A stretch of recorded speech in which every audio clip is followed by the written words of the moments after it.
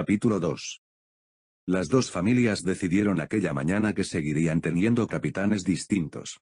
Un solo capitán significaba una sola familia, y la pérdida de toda una familia era algo intolerable para el clan. Era fácil suponer que ninguna de las dos familias aceptaría su propio final. Las conversaciones duraron horas.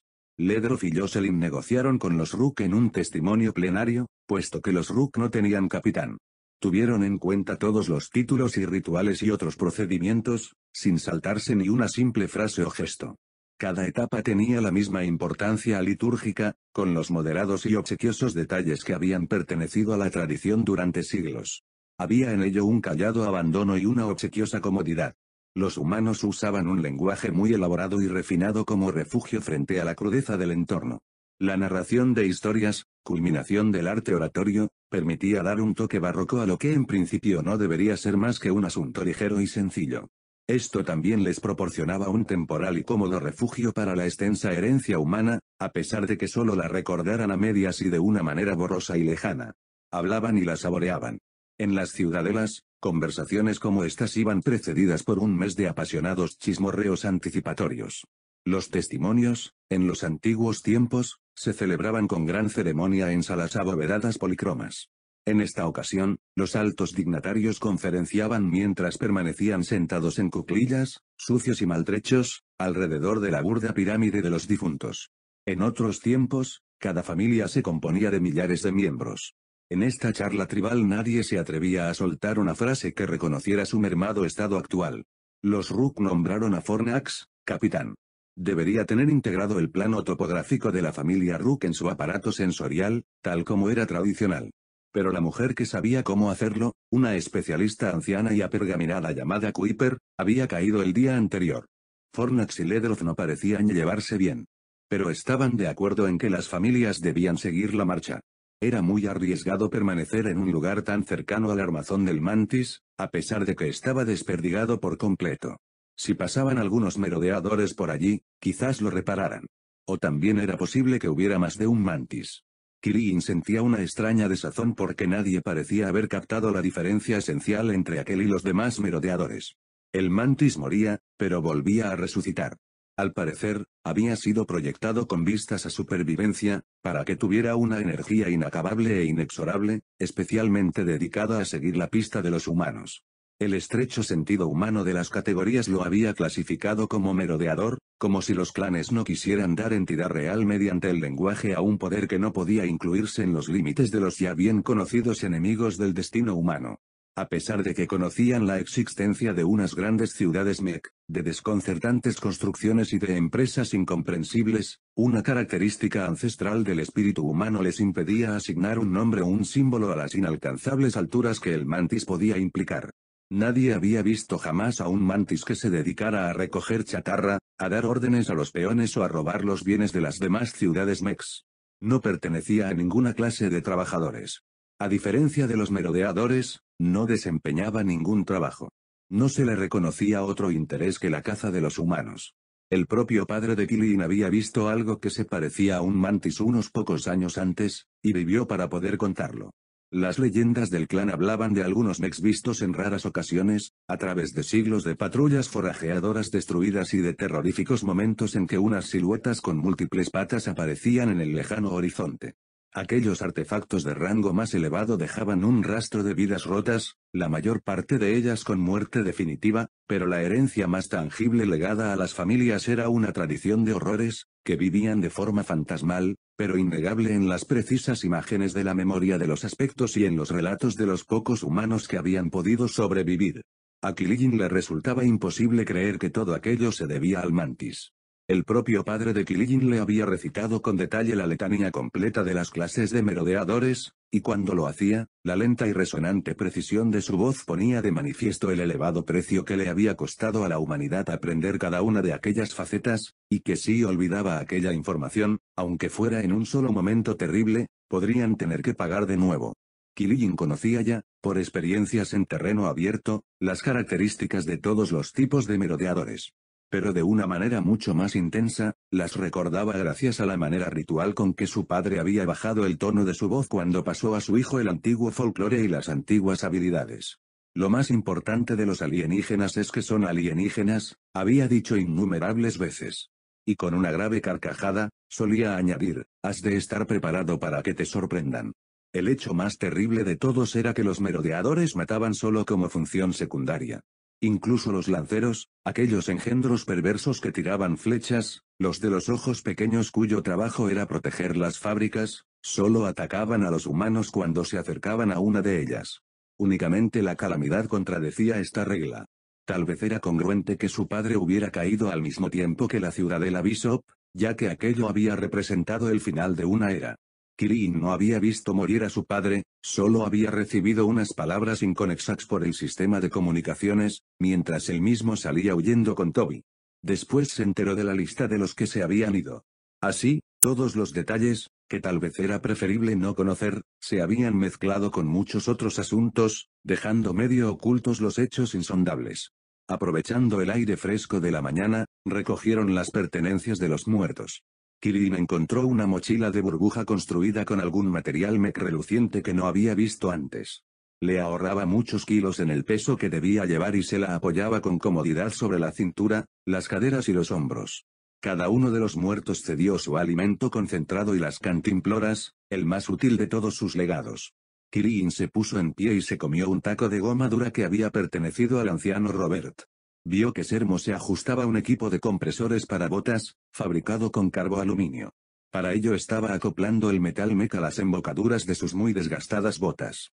Otros llevaban unos improvisados amortiguadores de choque para las caderas y cascos de doble protección, Killian sabía muy bien que al cabo de una semana irían abandonando todo aquel exceso de equipo a medida que se fueran convenciendo de que era demasiado pesado o engorroso. Killian prefería transportar comida y bebida, y olvidarse de los pesos extras. Ya se había roto dos veces las costillas por no llevar una coraza protectora. Mientras los demás se dedicaban a dar martillazos y a ajustar piezas, Kirin descansaba, usando como almohada su chaqueta de red, y miraba con gesto burlón a algunos que se agenciaban unas esteras blandas para dormir. Tuvo que impedir que Toby cargara con una batería de cocina. Era un objeto pequeño y maravilloso, delicadamente forjado a partir de un metal flexible por algún hábil artesano, cuando se conectaba daba una llama azul pero también representaba un peso suplementario para el muchacho y, por otra parte, Kilin no tenía la menor idea de dónde podría encontrar combustible para que funcionara. De todas maneras, era muy raro que consumieran alimentos cocidos. Sospechaba que los merodeadores podían oler los humos desde cualquier punto de nieve clara. Los miembros de las familias se fueron reuniendo a medida que se acercaba el mediodía. Ledroff y Fornax consultaron a sus aspectos y discutieron sobre la ruta que debían seguir. Kirin no quiso entrar en la discusión. Jocelyn apoyaba invariablemente las propuestas de Ledroff, eso y otras pequeñas señales indicaban que, en el mejor de los supuestos, su relación con Kilin se había enfriado. Kilin se encogió de hombros al pensar en ello, aunque lo cierto era que en el fondo le dolía. Las familias estaban apáticas, las mareas emocionales del día anterior las habían dejado pensativas y lentas. Él mismo se notaba afectado por aquel estado de ánimo. Se mezclaba con su resaca, consecuencia de un frasco pequeño y transparente de licor de frutas que había encontrado en el cadáver de Heda, una mujer de los Rook. Lo había compartido con tres Rook y con Sibo. Bastaba un trago de aquella sedosa y ambarina bebida, que tenía mucha garra, para notar el efecto. No había bebido mucho, pero estaba avergonzado por haber vuelto al alcohol. Un dolor de cabeza, cada vez más intenso, se extendía por su frente y se le introducía en los ojos. Aquello le recordó las dificultades que había notado para ver a larga distancia, y fue en busca de Angelique. Pareció que ella se alegraba de que le pidiese ayuda y preparó el instrumental. Kirin siempre había preferido que se trabajara sobre él cuando el ruido de la actividad cotidiana se iba acentuando.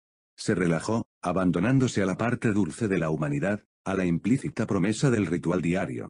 Estaba sentado, quieto como una estatua, cuando se dio cuenta de una mujer que estaba cerca de él.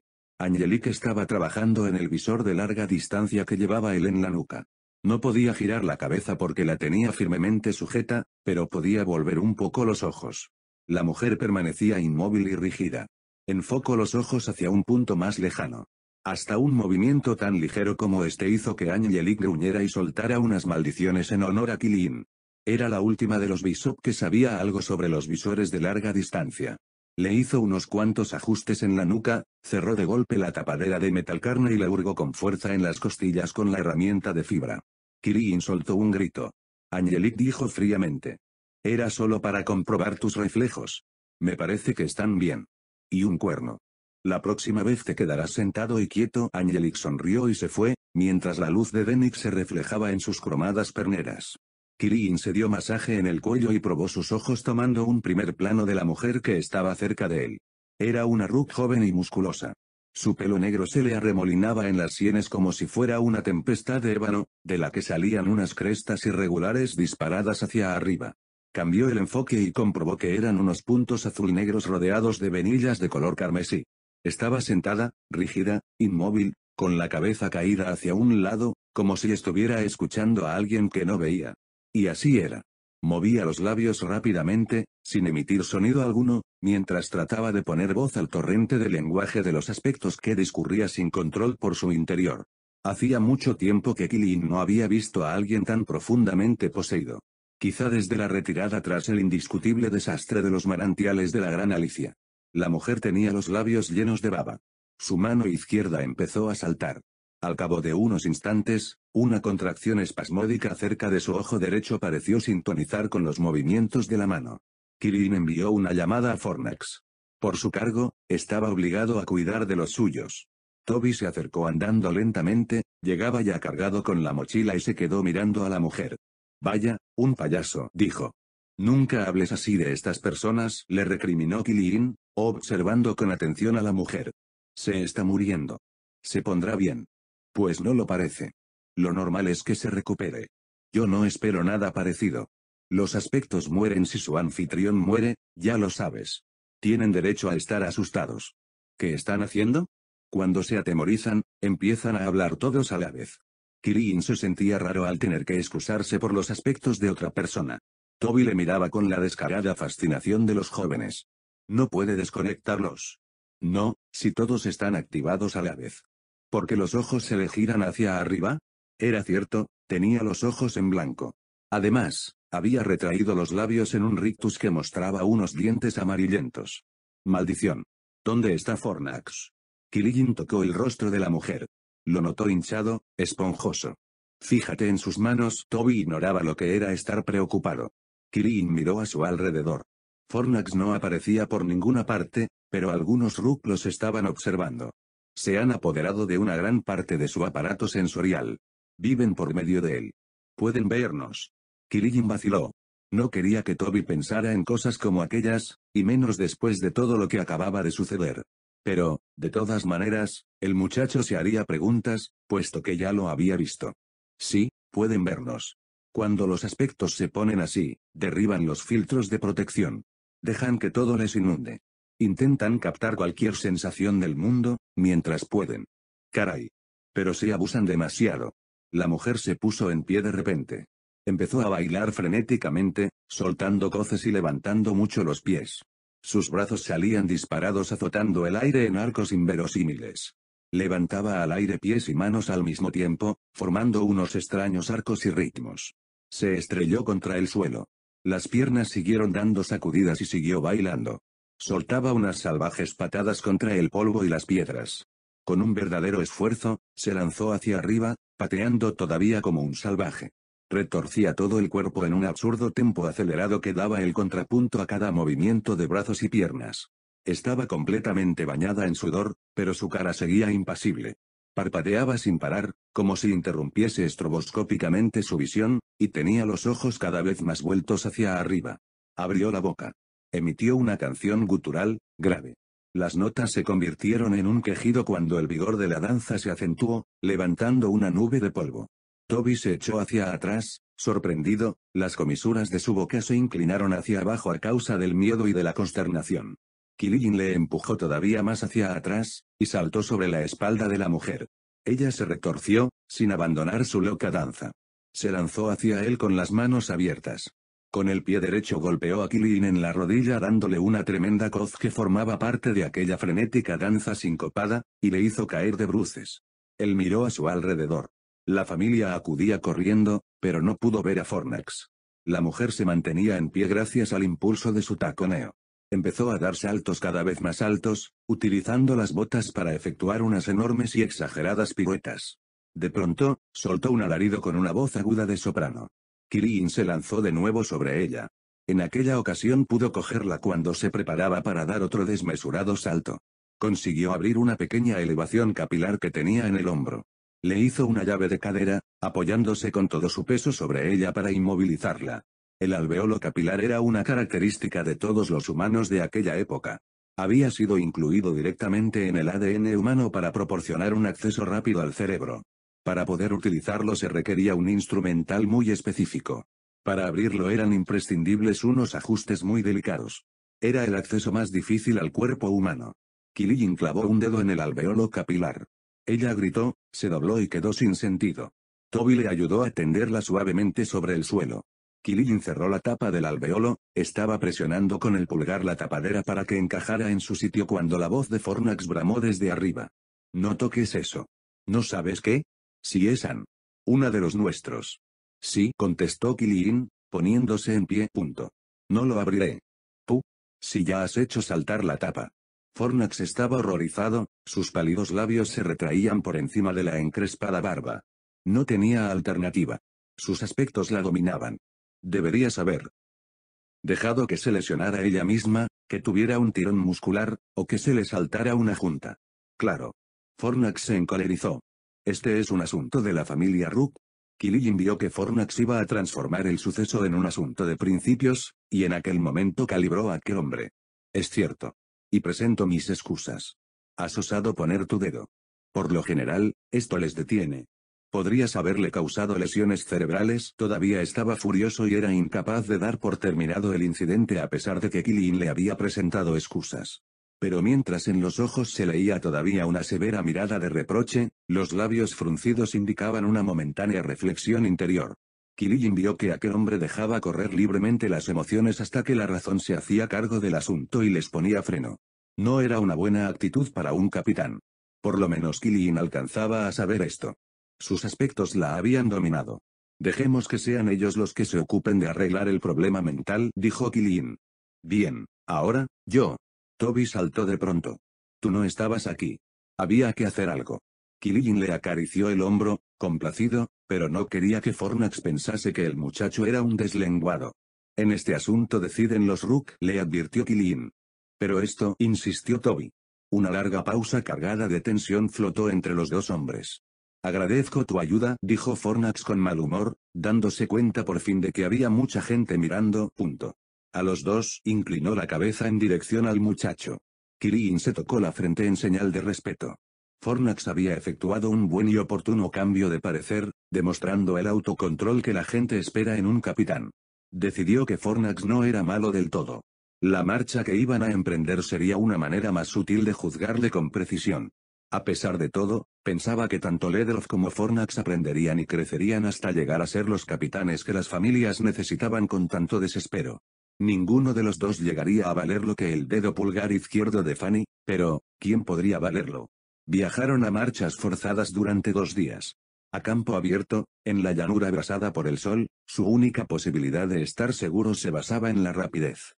Ledroff y Fornax mantenían a las familias separadas entre sí, en forma de dos cuñas triangulares, con tres exploradores en cabeza, cuatro en los flancos y tres en la retaguardia. Los merodeadores tenían fama de atacar desde el flanco posterior y de aprovechar, con frecuencia, la protección de una línea de montañas que acabasen de cruzar los exploradores de retaguardia. Se dirigieron hacia el interior, al centro aparente del salpicado. Contaban solamente con un tosco sistema de orientación, y nadie sabía la verdadera edad de aquel salpicado. A medida que iban avanzando a saltos por los valles en pendiente, sus esperanzas se hacían más factibles. Las zarzas cedían su puesto a los arbustos de hoja ancha. Los resecos brezos iban desapareciendo. Unos marojos de color tostado brotaban entre las sombras. Los lechos de los ríos mostraban terreno húmedo solo con sacar una palada de tierra. A mediodía de la segunda jornada, las familias empezaron a mezclarse con prevención. Intercambiaban ánimos e información acerca de rutas que resultaran más cómodas para los agotados veteranos. Killing llegó a descubrir una lenta fusión entre ellas. Tal vez las bases genéticas e históricas que separaban a las familias tendrían que perder fuerza frente a la creciente necesidad y al número de bajas entre sus miembros. Pero aquello solo era un detalle, comparado con su omnipresente problema, del que hablaban muy pocas veces, la urgencia de encontrar un refugio. Eran gentes que se habían formado en las ciudadelas, donde disponían de las comodidades de un refugio fijo. Solo los osados, los valientes y los jóvenes salían de las ciudadelas para capturar o robar en la civilización Mech. Ahora todos los miembros de la familia debían vivir como nómadas. Únicamente hallaban albergue en los comederos, y en las pocas casas que quedaban. Se aferraban a la esperanza de encontrar un lugar de descanso definitivo, algo permanente en un mundo que se tambaleaba. Killian daba vueltas distraídamente a todo esto, contento de tener capitanes que se enfrentaran a aquellos problemas. Percibió la presencia de Arthur que se desbordaba en el interior de su mente y recibió su fría e irónica voz. Supongo que ya sabrás que la humanidad empezó siendo nómada. Antes de que existieran las ciudadelas? Mucho antes que eso, desde luego. Seguramente debes recordar que ya te lo he explicado antes. Maldita sea, no puedo acordarme de todo. Tú hablas más que respiras. Ya te he dicho que no tengo los mapas adecuados de este salpicado. Es reciente. Pero estoy contrariado por el penoso episodio de hace dos días, cuando te despertaste. Todos estamos preocupados, aunque supongo que para ti aquello sucedió en el peor de los momentos, y del peor modo posible. Solo has de mantenerte en tu lugar. No te enrolles. Voy a necesitar toda mi agudeza mental. Déjame añadir, solamente, que la vida nómada se adapta genéticamente a los humanos. La civilización es un invento relativamente reciente. ¿Te refieres a la civilización Mech? No. A nuestra civilización. No a las formas sencillas de las ciudadelas. Me refiero a la sociedad original humana. Era enorme, gloriosa.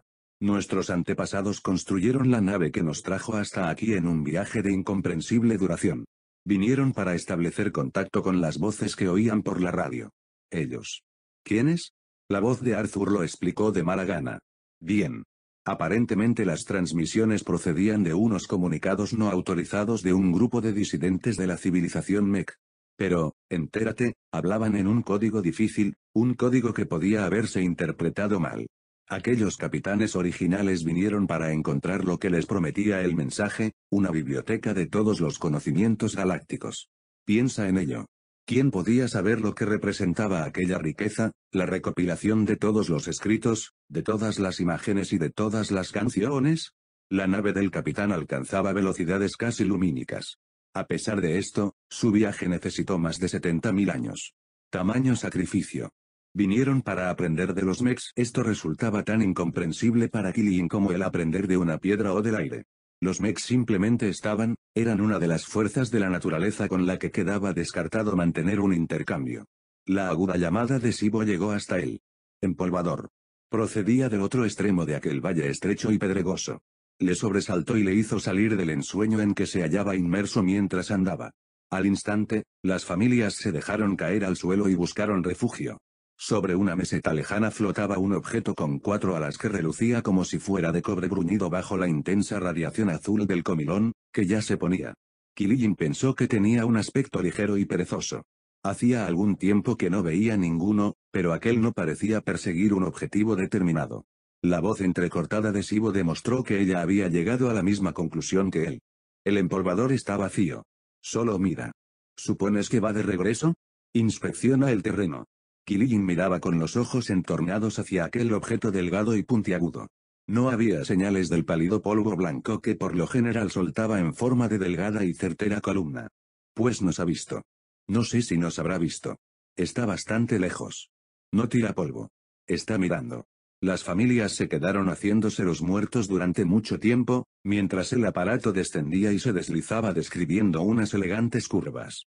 Killian admiraba sus movimientos esperando, en silencio y sin pensar, que se marchara de una vez. Hacía mucho tiempo que todos ellos habían aprendido a dejar pasar los mechs sin plantarles cara, a no ser que contaran con todas las probabilidades a su favor. Contra los empolvadores, nunca existía la menor ventaja. Cuando el empolvador desapareció tras el horizonte, iniciaron una rápida carrera a saltos en dirección contraria. Killian ordenó a Toby que se acercara a él, mientras vigilaba el flanco derecho con mucha mayor frecuencia que antes. Los merodeadores nunca operaban con los empolvadores, por lo menos hasta donde llegaban sus conocimientos, Pero desde lo del mantis, Kirin esperaba cualquier cosa, nada le hubiera sorprendido. Por esto oí griega o el ruido de agonía metálica antes que los demás. Las ondas llegaron a su aparato sensorial en forma de una nota alta y superficial que desapareció enseguida. Kirin avisó a los demás y determinó el ángulo de recepción. Se dirigía hacia un arroyo próximo a ellos, cubierto por completo de arbustos. Kirin se deslizó entre unos zarzales de espinas fuertes y delgadas y descubrió la fuente de aquel débil grito emitido en microondas. Un batidor estaba absorto en su trabajo. El artefacto se había apoderado de toda una escuadra de peones de aleaciones. Al parecer, los peones intentaban montar una planta procesadora cerca de una veta de mineral. El batidor los estaba devorando, su vientre ya estaba en funcionamiento. Kirin percibía las sacudidas en tono de bajo profundo que originaba cuando los fundía para transformarlos en lingotes más manejables. El batidor emitió un ruido de tripas mientras digería, sus costillas cerámicas se contraían con pedos y quejidos a medida que obligaba a los peones a entrar en sus entrañas. Allí cerca, dos cascos humeaban todavía. Eran los encargados mex que habían estado al frente de los peones. Eliminados aquellos, los peones solo podían lanzar llamadas de socorro a las distantes ciudades. Allí, en aquel salpicado, el transporte del batidor llegaría para llevarse el botín mucho antes de que pudieran recibir ayuda. Killian indicó a los demás que no avanzaran. Los batidores no eran peligrosos cuando estaban ocupados en sus tareas principales. Algunos merodeadores, como los ojeadores y los rastreadores, aprovechaban las basuras. Eran fáciles de evitar si se era ágil y se usaban exploradores. Otros eran los agentes de los incesantes conflictos entre las diferentes ciudades mex.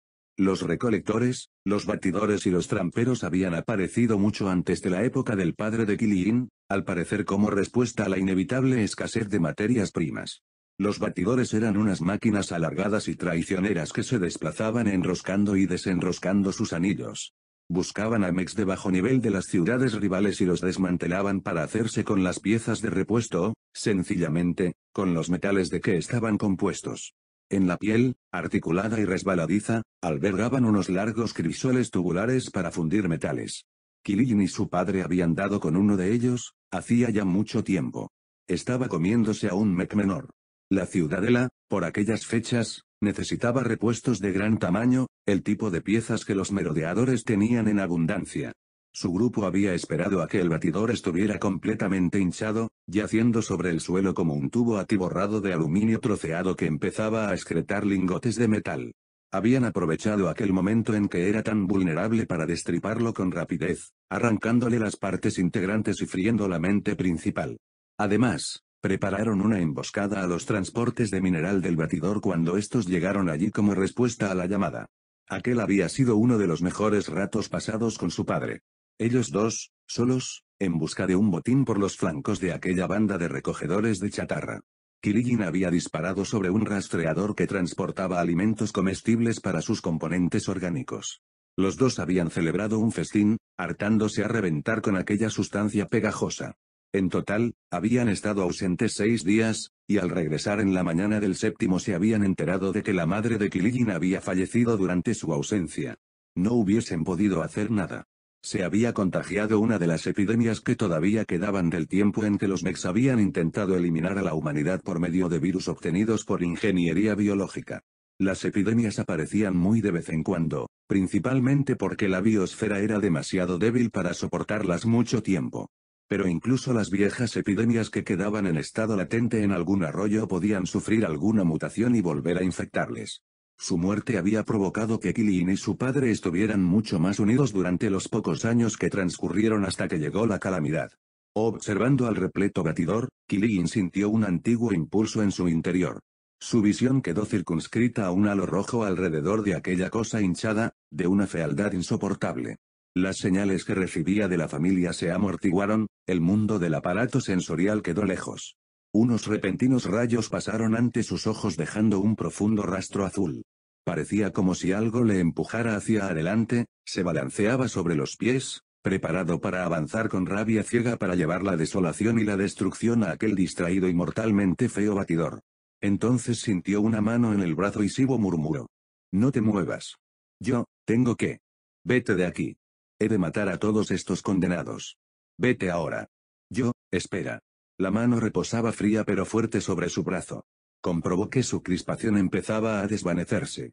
Observó que los demás estaban atrás, junto al arroyo, y se dio cuenta de que estaban sorprendidos de que se hubiera aventurado tan lejos. No hace falta. Los transportes del batidor van a llegar muy pronto. Yo. La única manera de vencer a los merodeadores, es aprender de ellos. Pero. No debes arriesgarte tú mismo. Acuérdate de Toby. Yo. Sí, tienes razón. Dejaron al merodeador con su comida. Capítulo 3.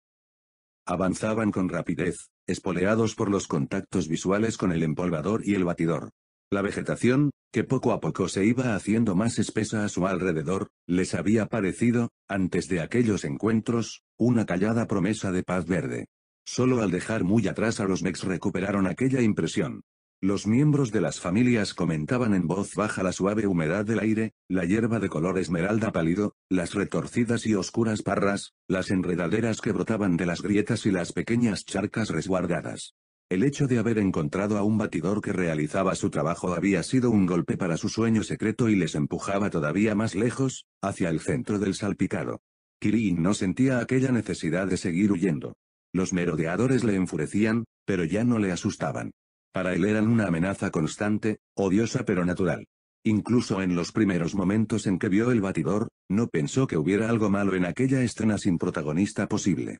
Aquellos peones, que mientras eran devorados lloraban clamando por su lejano protector, no dejaban de ser para él enemigos tan antiguos como el mismo batidor que los estaba destruyendo y aunque una rabia ciega se había apoderado de él y habían salido a flote sus recuerdos, se dio cuenta de que los trenes orugas del batidor no funcionaban correctamente porque algunos arbustos se le habían quedado enredados entre los eslabones. A los mechs les resultaba difícil desplazarse por aquellos terrenos llenos de vegetación. Esto representaba una ligera ventaja. Era otra manera de que los salpicados hicieran revivir aquel mundo que había sido verde. Ledroff les pidió que cantaran. Por el sistema sensorial comunal llegaba con fuerza una antigua marcha de la familia, compuesta en un pasado remoto por algún maestro andariego. Kilin dejó que el rítmico espíritu de la música se apoderara de él. La canción de la familia empezó a brotar por su garganta. Aquella era su herencia favorita, mucho mejor que la de los aspectos, con toda su verborrea incansable y altanera que podía durar varias vidas consecutivas. Aquella forma del arte melódico le gustaba de manera especial por la sucesión de movimientos progresivos, el arte de Mozart era maravilloso y absorbente. ¿Cuántas generaciones de la familia había que retroceder para llegar al tiempo en que había vivido el compositor? Tal vez aquel hombre había sido su tátara tátara abuelo. A Killigin le habría gustado poder afirmar que les unía un parentesco próximo. Arthur intentó endosarle alguna antigua tradición, pero Killian estaba tan absorto con los ritmos musicales que no le prestó atención. Mientras daba saltos al ritmo de la canción y de la música, advirtió que la familia avanzaba con mayor rapidez. Ledroff había hecho intervenir los ritmos acentuados para conseguir que se alejaran más a prisa del batidor, para amortiguar los miedos. Había funcionado bien. Empolvador, gritó alguien. La música se interrumpió al instante. Aquilín le pilló a mitad de un salto. Planeó durante un breve momento, cayó con estrépito al suelo y rodó hasta ir a parar a un riachuelo seco. Olió por todas las ondas largas. No recibo olor de mec. Localizó a Toby y después Y o como las familias buscaban refugio. Las madres y padres Rook llamaban a sus hijos con gritos lastimeros e histéricos. El aparato sensorial comunal estaba al borde del pánico. Sibo transmitió. Identificación incorrecta. Mirad. Puso el horizonte en un primer plano, y al principio no podía creer lo que veían sus ojos. Tal vez Angelique le había estropeado el visor de largo alcance. Aquellos objetos volantes parecían estar muy lejos, pero notaba su olor muy próximo. Sibo habló tranquila y claramente. Pájaros. Atónitas, las familias se pusieron en pie. Se sacudieron el polvo y admiraron en el cielo el revoloteo de aquella nube viva. Centenares de puntitos se precipitaban sobre los arbustos y piaban. Durante un largo intervalo, nadie dijo nada. Después, unos gritos de entusiasmo viajaron por el sistema de comunicaciones. Algunos de los más jóvenes nunca habían visto un ser que volara y que no fuera de metal. Creían que solo los Mex eran los amos del aire, sobre todo porque sus emisiones manchaban de un gris lechoso el cielo del alba. Toby se adelantó corriendo y empezó a gritar. ¡Ey, vosotros! ¡Ey! Aquellos diminutos portadores de vida orgánica, en vez de recibirle con gozo como a un miembro de su mismo reino, salieron disparados hacia arriba, como una nube huidiza y asustada. Toby parpadeó, sorprendido. Killian rió. Has de tratarlos con más delicadeza. Toby frunció el ceño. ¿Acaso no les gustamos? La vida ya nace asustada. ¿Asustada de la misma vida? Sobre todo de ella. Los Mex no nos tienen miedo. Los Mex tienen miedo de ellos mismos. ¿Te acuerdas de aquellos peones que hace poco lanzaban desesperadas llamadas de socorro? Todavía sintió y dijo con mucha decisión. Los Mex también tienen miedo de nosotros. Kirin obsequió a su hijo con una triste sonrisa, plenamente consciente de los motivos del muchacho para hacer valer sus méritos con una declaración tan abiertamente falsa. Tal vez, contestó suavemente. Seguro que sí. Toby acariciaba el bruñido acero de la pistola de disco que llevaba en la cintura, tocando con dulzura aquel pequeño emblema de poder. Los peones y los encargados lanzan llamadas desesperadas de socorro cuando nos ven, pero lo hacen porque nos confunden con unos ex enemigos. La boca de Toby se retorció en una mueca de evidente alegría. No es verdad. Lo es. Nosotros andamos sobre dos piernas. Los mex se desplazan sobre bandas. ¿Y qué? Los mex tienen que distinguirlo. Nuestros equipos están hechos con metal mech. Los peones solo distinguen esto. No es así, en absoluto, insistió Toby con franqueza. Para poner fin a aquella pequeña ofensa a su concepto del género humano, dio un salto con sus potentes botas para llegar a su posición habitual de viaje. Kirin lo observó mientras se alejaba, era una delgada figura que se desplazaba a saltos con ligereza y con verdadera gracia por encima de barrancos y malezas. Toby necesitaba sentir que la humanidad luchaba al menos en igualdad de condiciones con los Mex, que había posibilidades de perder o ganar en su interminable huida. Era una manera de aceptar y olvidar la matanza del día anterior. Kirin no deseaba mentirle, pero no quería tener que explicarle de forma abierta aquello que el muchacho iba descubriendo poco a poco, los humanos tenían tan poca importancia que los peones ni siquiera estaban programados para reaccionar frente a ellos. Solo los merodeadores tenían órdenes explícitas con respecto a los humanos, y aquellas órdenes eran simplemente las de exterminarlos. Lo más probable era que el terrible Mantis no desempeñara un papel decisivo en la cultura mech. Hasta el mismo Killian necesitaba superar el desastre de la matanza. No podía pasarse aquellas largas horas arreglándose el cabello y mirando pensativo al espacio, al igual que hacían otros, como Jocelyn, formando arabescos de pelo que se desharían en cuanto se pusiera el casco. Aquello nunca había sido una solución para él. Kirin notaba el aturdimiento de la tristeza y del dolor como una tremenda, negra y embotada presión interior que era indefinida e insoslayable. En muy raras ocasiones hablaba de aquellos obstáculos interiores que percibía de forma confusa. Tiempo atrás, Jocelyn había intentado que él dejara aflorar sus sentimientos y se desahogara hablando, pero solo había conseguido que él se sintiera incómodo y estúpido, al advertir que su lengua era torpe, correosa y traicionera. Decidió que debía eliminar las frustraciones como en tantas ocasiones anteriores. Llamó a Ledroff. Voy a situarme al extremo más alejado del flanco izquierdo. Enterado y conforme, contestó Ledroff con evidente alivio. Durante toda la mañana, el capitán había sido blanco de todas las críticas y gimoteos. Al dolor por la matanza había que añadir la incomodidad de los pies cansados y los músculos fatigados, y con todo ello se podía guisar una amarga sopa de descontento. Jocelyn se había hecho cargo del flanco izquierdo durante todo el día, y necesitaba que alguien la relevara. Allí, la tierra era lisa y joven, como si los elementos contundentes se hubieran contentado con mancharla en vez de levantarla.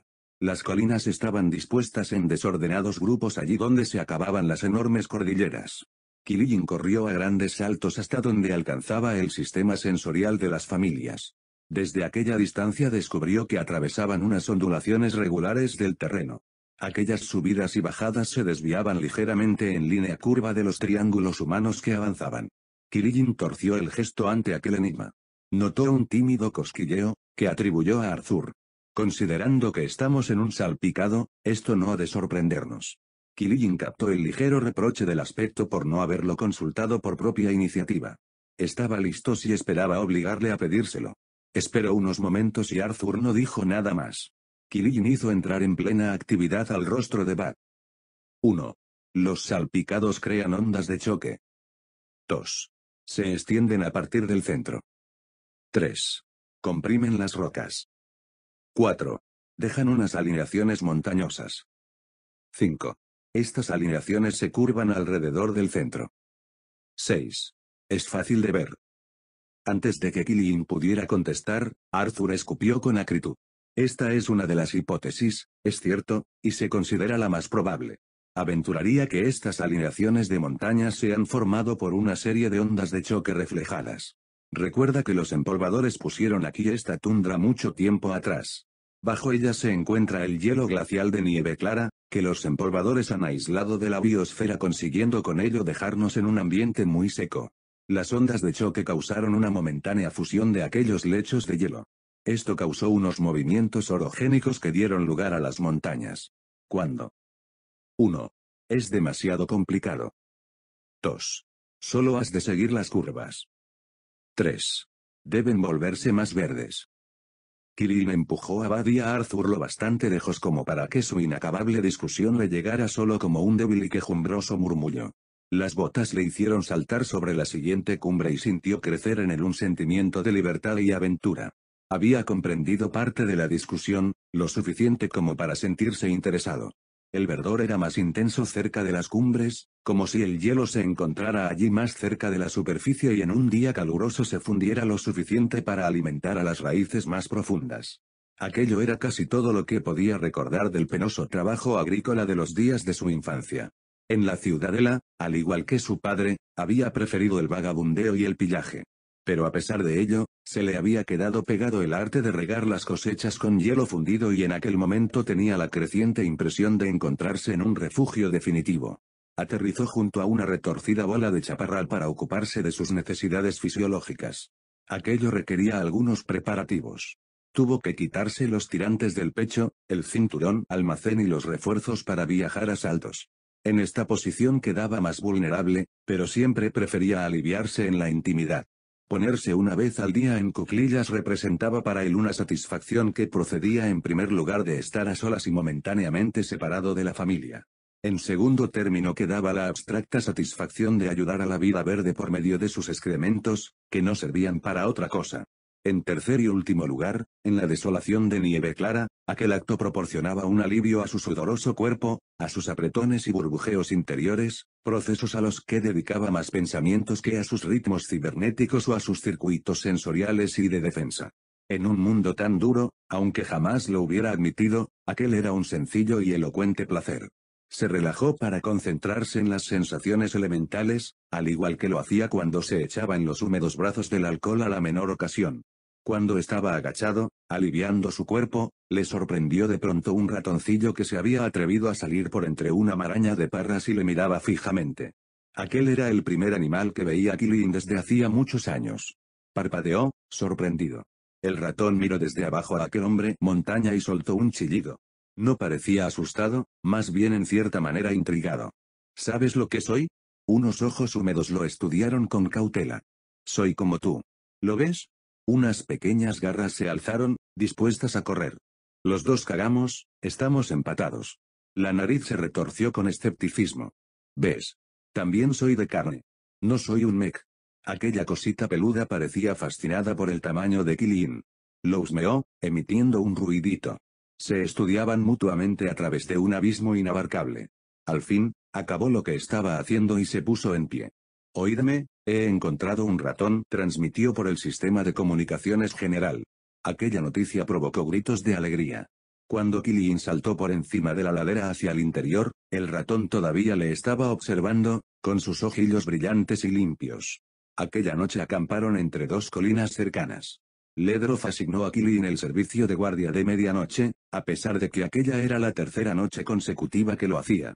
Ledroff se estaba convirtiendo en un buen capitán, pero se apoyaba en Killian con más dureza que en los demás. Sibo hizo parte de la guardia con él. Seguía decidida a mantener un mínimo de conversación, para que sus sensores pudieran captar la menor señal. A Killian simplemente le gustaba su compañía. El cielo aparecía cargado de nubes, pero las estrellas lucían algunas veces. Sibo tenía asignada la siguiente guardia y ambos debían dar juntos una vuelta alrededor del campamento para que Killian le fuera señalando cualquier pequeño indicio que hubiera descubierto en la llanura envuelta en las sombras. Resultaba agradable andar al lado de ella, aunque el tiempo transcurría sin que se dijeran nada, estaban en comunión mediante sus enlaces sensoriales. Era mejor que estar acostado inerte, descansando en el campamento, cuando los problemas espantaban el sueño. Todo tranquilo. Sí, contestó él. La ancha sonrisa de ella rompió la oscuridad con un creciente destello. ¿Cansado? No. Podría demoler una montaña a patadas. Un murmuró, fingiendo admiración. ¿Has dormido bien? El suelo es demasiado duro. Coge algunos arbustos y hazte un colchón. Es mejor un colchón humano. Sus ojos relucientes captaron el leve resplandor del disco del comilón, y él comprendió que le estaba tomando el pelo. ¿Hombre o mujer? De hombre, es mejor. No es cierto. De mujer es mejor. Tiene más grasa. ¿Grasa? No lo creas. Tú tienes más que yo. No soy una cochina tragona. Eres de la clase de cochinos que me gustan. En el punto justo. No creerás que voy a estarme quieta debajo de ti. Aquella no solo era la frase más larga que le había oído pronunciar, sino también la más interesante. No esperaría que te quedaras quieta. Bueno, otra vez apareció la sonrisa blanca. A él no se le ocurría qué decir. Los sensores de ambos, que siempre funcionaban estroboscópicamente, les invadieron de forma sutil, proporcionándoles una minuciosa información de sus respectivos mundos. Pero en el caso de Killian, se sintonizaban con la sexualidad, las burlas y las ironías, las miradas de reojo se fueron haciendo cada vez más espaciadas bajo la luz del edredón estrellado que engalanaba la medianoche, y se convirtieron en algo infructuoso que ya no tenía un objetivo determinado. Killian lo lamentaba y se devanaba los sesos para encontrar la manera de decírselo a ella. En aquel instante un animal saltó desde un arbusto cercano y estuvieron ocupados durante algún tiempo en calcular su paralaje y asegurarse de que no se trataba de otra cosa. Después de aquello, la magia se había esfumado y él no sabía cómo volver al punto inicial. Al parecer, últimamente las oportunidades se le escapaban de las manos, era como si el mundo pasara por delante de él demasiado a prisa como para poder atraparlo. Cuando bordeaban una llanura agrietada, Killian percibió un ruido de trinquete, frío y seco. ¿Qué es eso? Había intentado sacarle una o dos palabras a. Se detuvo de pronto, con la cabeza inclinada hacia un lado. Cánticos, respondió Sibo. ¿Otras familias? preguntó Kilin esperanzado. Durante muchos años los Bishop habían creído que estaban solos. Ahora ya se atrevía a imaginar una repetición del milagro. Toby dedicaba todos los momentos que le quedaban libres a sus nuevos amigos, y deseaba tener más. Es extraño. No son cánticos, declaró Kilin después de un momento, punto. Es una especie de... No son acústicos. Parecen como unas voces muy lejanas, aventuró punto. Salen de una boca metálica. Analizaron en todas direcciones, recorrieron visualmente arriba y abajo todo el espectro, con todos los sentidos amplificados al máximo. Pero nada. No percibo ningún mech, confirmó Sibo. ¿Qué está diciendo? No es la primera vez que lo oigo. Es magnético. ¿Qué? Killian se pasó al ultravioleta y captó una débil radiación. Notó que se le erizaba el vello de la nuca. Algo flotaba en la noche. Pero era algo que no estaba hecho de materia. Estaba alerta por si se acercaba alguna figura por aquel terreno ligeramente ondulado, pero no había prestado atención al aire. Entonces descubrió por encima de ellos unos velos de gas luminiscente que se ondulaban. Desde un punto situado en lo alto, caía un rocío de rayos de luz blanco-azulada que se entretejían. Forzó todavía más su visión, bendiciendo la habilidad experta de Angelique. Los rayos formaban una inmensa y confusa red.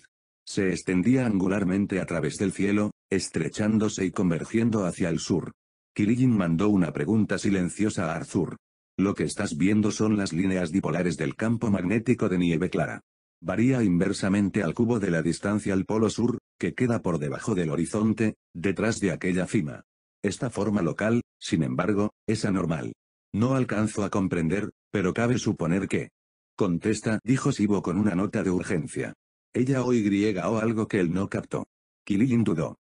Después de todo, aquella cosa podría ser una operación de los Mex. Escuchó con toda atención. En cuanto acalló la voz cantarina y suave de Arthur, a duras penas recogió un ligero rasgueo. Me detengo, entro y empiezo a emitir. Escuchadme. Ahora. Kilin lanzó una mirada interrogante a Sibo, cuya tersa cara estaba absorta. ¿De dónde vienes? preguntó Killian por el aparato sensorial. Con mucho esfuerzo logró que su voz se convirtiera en una mezcla de lenguaje acústico y eléctrico. Apretó la garganta como cuando un hombre intenta imitar a una rana. El resultado, transmitido y filtrado por una serie de chips incrustados en su cuerpo, envió unas señales electromagnéticas que se propagaban en ondas por el aire. Hubo un momento de silencio, agitado por el viento. Y luego. Las tormentas aullan en el lugar donde estoy. Vosotros no sois más que unos vagos susurros. Habláis demasiado deprisa. Repito, ¿de dónde vienes? De nuevo, una espera interminable. Giró alrededor del comilón. Igual que nosotros, exclamó Killian, exasperado. Por encima de él descubrió unas parpadeantes gotas anaranjadas que descendían a lo largo de los rayos azules. La voz de Arthur resonaba en su mente, explicándole que aquello eran partículas que caían hacia el polo, golpeaban contra la atmósfera y producían unos celajes de aurora. Aquellos puntos trazadores le indicaron la enormidad del efecto. Aquella cosa, voz de la aurora dio forma a las líneas de fuerza y las convirtió en un cono magnético que descendía a partir de un punto que quedaba muy por encima de ellos. Una red, como una tienda de campaña, se extendía en abanico simétricamente en todos los lados. Killian vio que el isibo estaban en el centro que marcaba en el suelo. Estaba claro que aquello no era un efecto accidental, aquella cosa intentaba hablarles a ellos en concreto. Soy lento. Me canso cuando me dilato hasta tan lejos. Quiero ponerme en contacto con un ser que se llama Kilin. Kilin parpadeó con tanta sorpresa que su visión se pasó al infrarrojo chillón. ¿Qué? Soy yo. Durante los largos segundos de silencio que siguieron, le pareció oír algunas débiles y temblorosas voces que silbaban por las líneas de campo. Como si quisieran escapar de una inmensa presencia. Tengo un mensaje para ti. Atiende.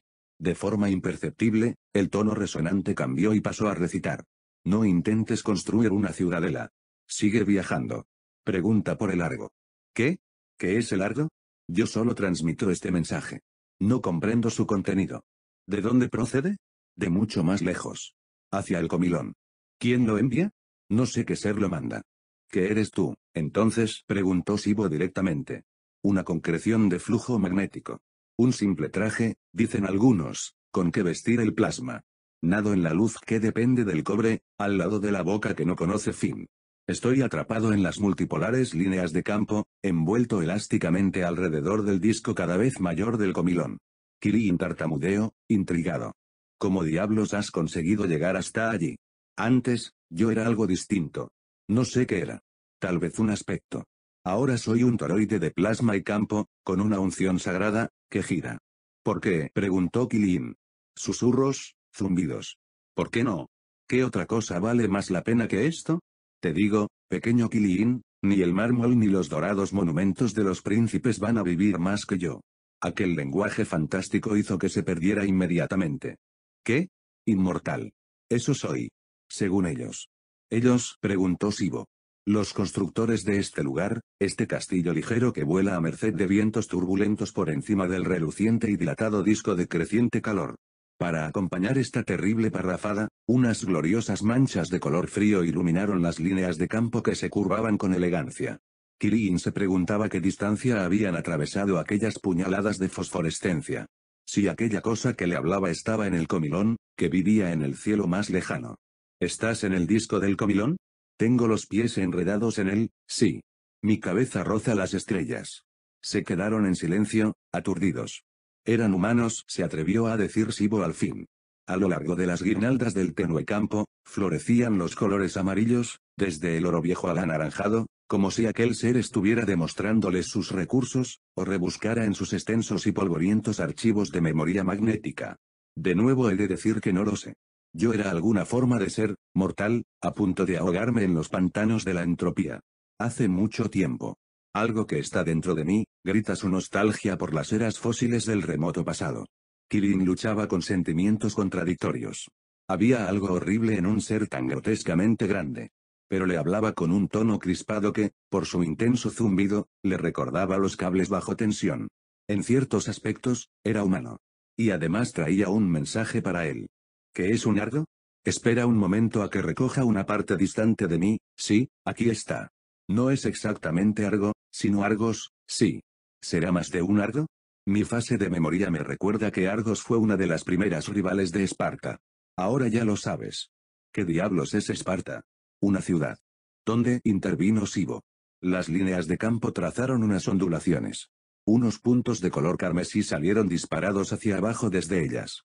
No tengo datos. Este fichero está terriblemente anticuado. Y este lenguaje que usas. Es vasto, grosero, la manera más tonta de guardar significados en retículas lineales, como cajas. Sibo dijo. Para nosotros es suficiente. No lo dudo. Para ser justo, mientras repaso vuestro vocabulario observo que tenéis algunas palabras extrañamente ingeniosas, hasta llegan a ser admirables. Gilipollas. Sibilante. Interconexo. Vaya palabras. Tienen gracia, aunque están al borde del absurdo. Pero Argos no tiene gracia ni contenido. Bueno, ya basta. Solo he venido a traer el mensaje, cumpliendo con mi deber, y ahora me voy. Espera, gritó Kilin. Unos resplandores salpicados de manchas se retiraron a lo largo de las líneas de fuerza con una velocidad creciente. A medida que iban desapareciendo, reaparecían las acostumbradas fibras magnéticas planetarias en forma de cola de Milano, alineándose insistentemente hacia el polo sur. Esperaron durante largo rato, pero el ser no regresó. Kilin comentó el suceso mientras concluían su ronda, Sibo, según su costumbre, solo le contestaba con monosílabos. Todo aquel episodio resultaba incomprensible. Pero al menos el mensaje era fácil de entender. Nadie albergaba esperanzas de construir una nueva ciudadela. El seguir su viaje era una necesidad, y no una posibilidad. ¿Qué carajo será un Argos? preguntaba Killian, exasperado, asivo. Pregúntalo al aspecto. Arthur se introdujo allí, sin esperar un momento. Sospecho que se trata de un error de transmisión. Argos fue una ciudad de la Grecia clásica, en la Tierra. Desempeñó un papel en la intelectualidad primitiva. Killian cortó el pesado divagar del aspecto y siguió andando al lado de Sibo. Fuera lo que fuera lo que el ser campo había querido decir, ahora no tenía importancia, porque se veía claramente que el mensaje era antiguo y ya no tenía objeto. Killian decidió seguir como hasta entonces y no preocuparse por el almacén de datos polvorientos y de pesada historia con que los aspectos le estaban atosigando sin cesar. Muchos de los aspectos más antiguos daban cada vez menos información a medida que envejecían. Una especie de senilidad se iba apoderando de ellos. Las molestas voces de insectos podían recordar una reunión que había tenido lugar 300 años antes, pero eran muy vagos cuando se les preguntaba sobre los distintivos de los mechs que habían visto la semana pasada. Y los refinamientos que recordaban desde las arqueologías opulentas, con salas de baile tan grandes como colinas, con mesas adosadas repletas de dulces manjares, trajes translúcidos, sin embargo, tibios, llenaban a Killigin de una envidia rencorosa y avergonzada. Los aspectos más antiguos eran los peores, le machacaban con unas glorias imposibles. Otros miembros de la familia tenían la misma impresión. Jocelyn apenas si podía soportar el tener que llamar a los suyos, que eran de los más viejos y le mandaban imágenes de una riqueza que ella sabía falseada, no le cabía la menor duda. Algunas imágenes del ser magnético rebotaban en la mente de Killian y se mezclaban con el débil discurso de los aspectos. Sacudió la cabeza para despejarse. Si prestaba demasiada atención a los aspectos, le robarían las asperezas del mundo y el endurecimiento que ellas proporcionaban. Dejó a Sibo y regresó al campamento, permitiéndose disfrutar de la apabullante riqueza del salpicado. Nunca se cansaba de hacerlo. Tan verde, pensó. Tan verde, verde, verde. Capítulo 4. Viajaban inmersos en una impresión de verdor y complacencia. Las ondulaciones del terreno daban a sus pasos un ritmo sensual. Cosas pequeñas y chillonas se escapaban de debajo de sus pies. La riqueza verde y la dulzura del aire les proporcionaban sosiego. Durante toda una jornada no habían atisbado señales de vida mec. Era como si el mundo seco y frío en que los mecs habían convertido nieve clara se hubiera desvanecido. Desde unas profundidades dormidas mucho tiempo atrás, rezumaba una antigua riqueza húmeda. Ledroff y Fornax habían caído en la rutina de discutir en cada parada de descanso. Mantenían su perpetua discusión dentro de los límites del clan, pero no podían reprimir su marcada y mutua antipatía. Hasta la velocidad de la marcha se ponía a juicio, se daba por resuelta y se volvía a discutir. Ledroff insistía en que se tomaran precauciones. Fornax quería alcanzar cuanto antes el centro del salpicado, sosteniendo que debía de ser muy rico y estar repleto de alimentos naturales. Fornax seguía llevando a los Rook mucho más avanzados de lo que se había acordado para viajar en formación bifurcada. Ledroff lanzaba maldiciones a Fornax a través del sistema de comunicaciones, y en una ocasión hasta llegó a estrellar el casco contra el suelo en un ataque de rabia. Puesto que los cascos eran el elemento más complicado y nadie tenía piezas de recambio para la mayoría de los chips de que estaba compuesto, aquel acto resultó, a la vez, sorprendente y de una impresionante locura. Viajaban guiándose por los astros. Hacía mucho tiempo que las dos familias habían perdido todos los instrumentos de orientación global. Denix les acababa de ofrecer un ocaso. La noche quedaba suavizada por el comilón, que atravesaba el cielo como una guadaña de corte ancho y daba una media luz plateada y triste. Entonces, las dos familias se detuvieron para descansar. Con frecuencia, aquello era en lo único en que se ponían de acuerdo. Killian quiso evitar la disputa de aquella tarde y se marchó a patrullar por los flancos. Se llevó a Toby con él.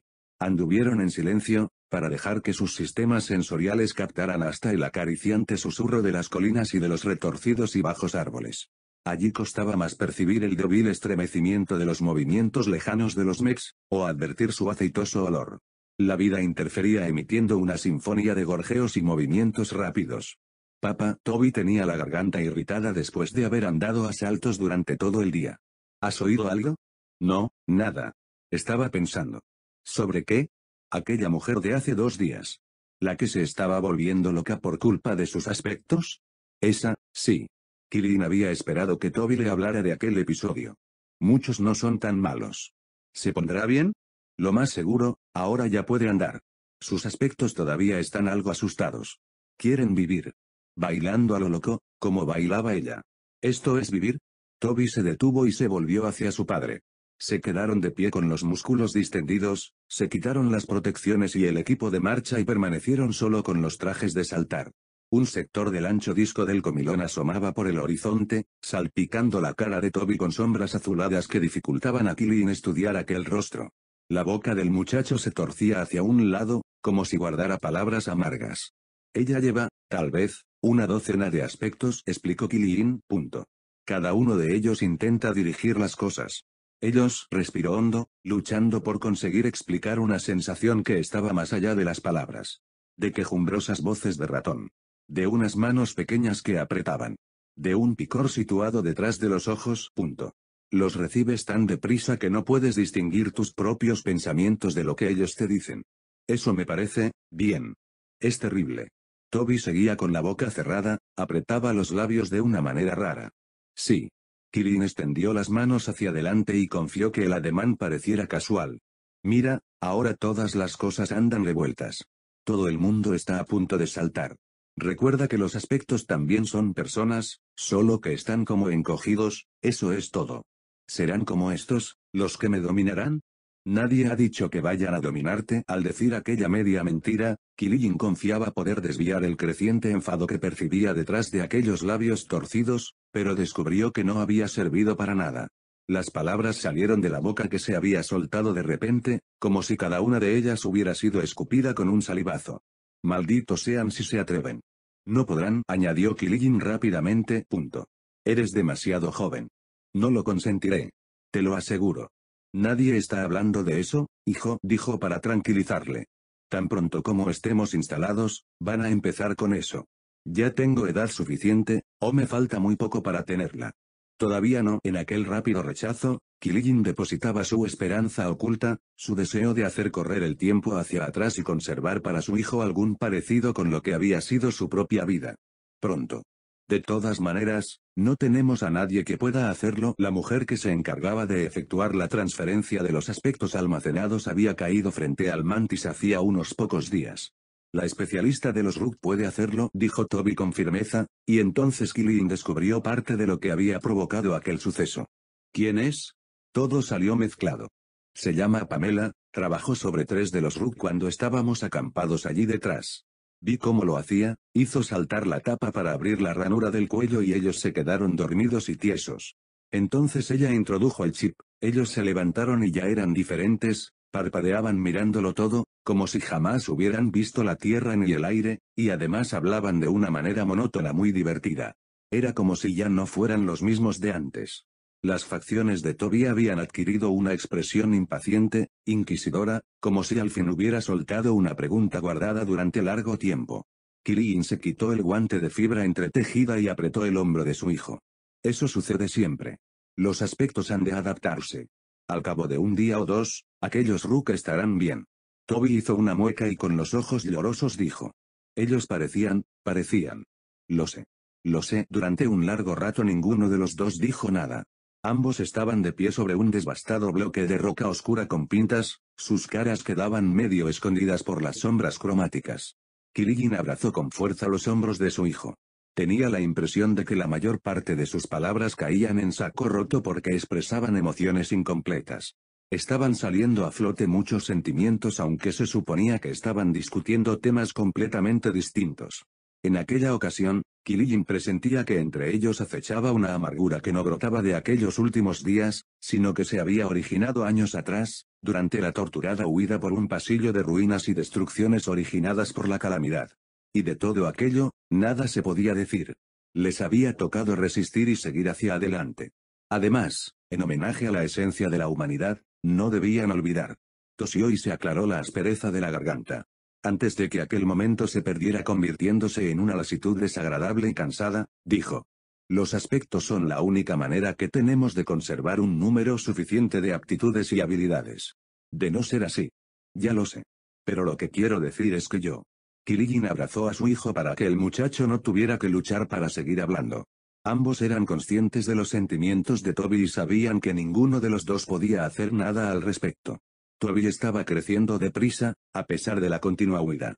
Pronto alguien se daría cuenta, y el capitán tendría que justificar ante toda la familia por qué Toby no llevaba ningún aspecto. Había muchos aspectos disponibles, almacenados en chips que Ledroth acarreaba con dificultad en la cadera derecha.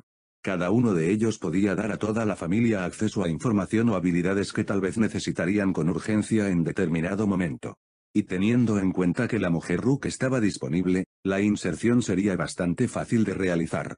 Killian hubiese querido prometer a Toby que les detendría, que retrasaría la colocación de un aspecto en el muchacho. Pero ambos sabían que deberían acatar la decisión del capitán. Mira, yo. Está bien, papá, concedió Toby con voz llorosa amortiguada por el áspero tejido impermeable del traje de saltos de Killian. Punto. Ya lo sé. Ya lo sé. Cuando completaron la primera ronda alrededor del campamento, Killian envió al muchacho de regreso. Toby tenía que dormir, y Killian necesitaba pensar.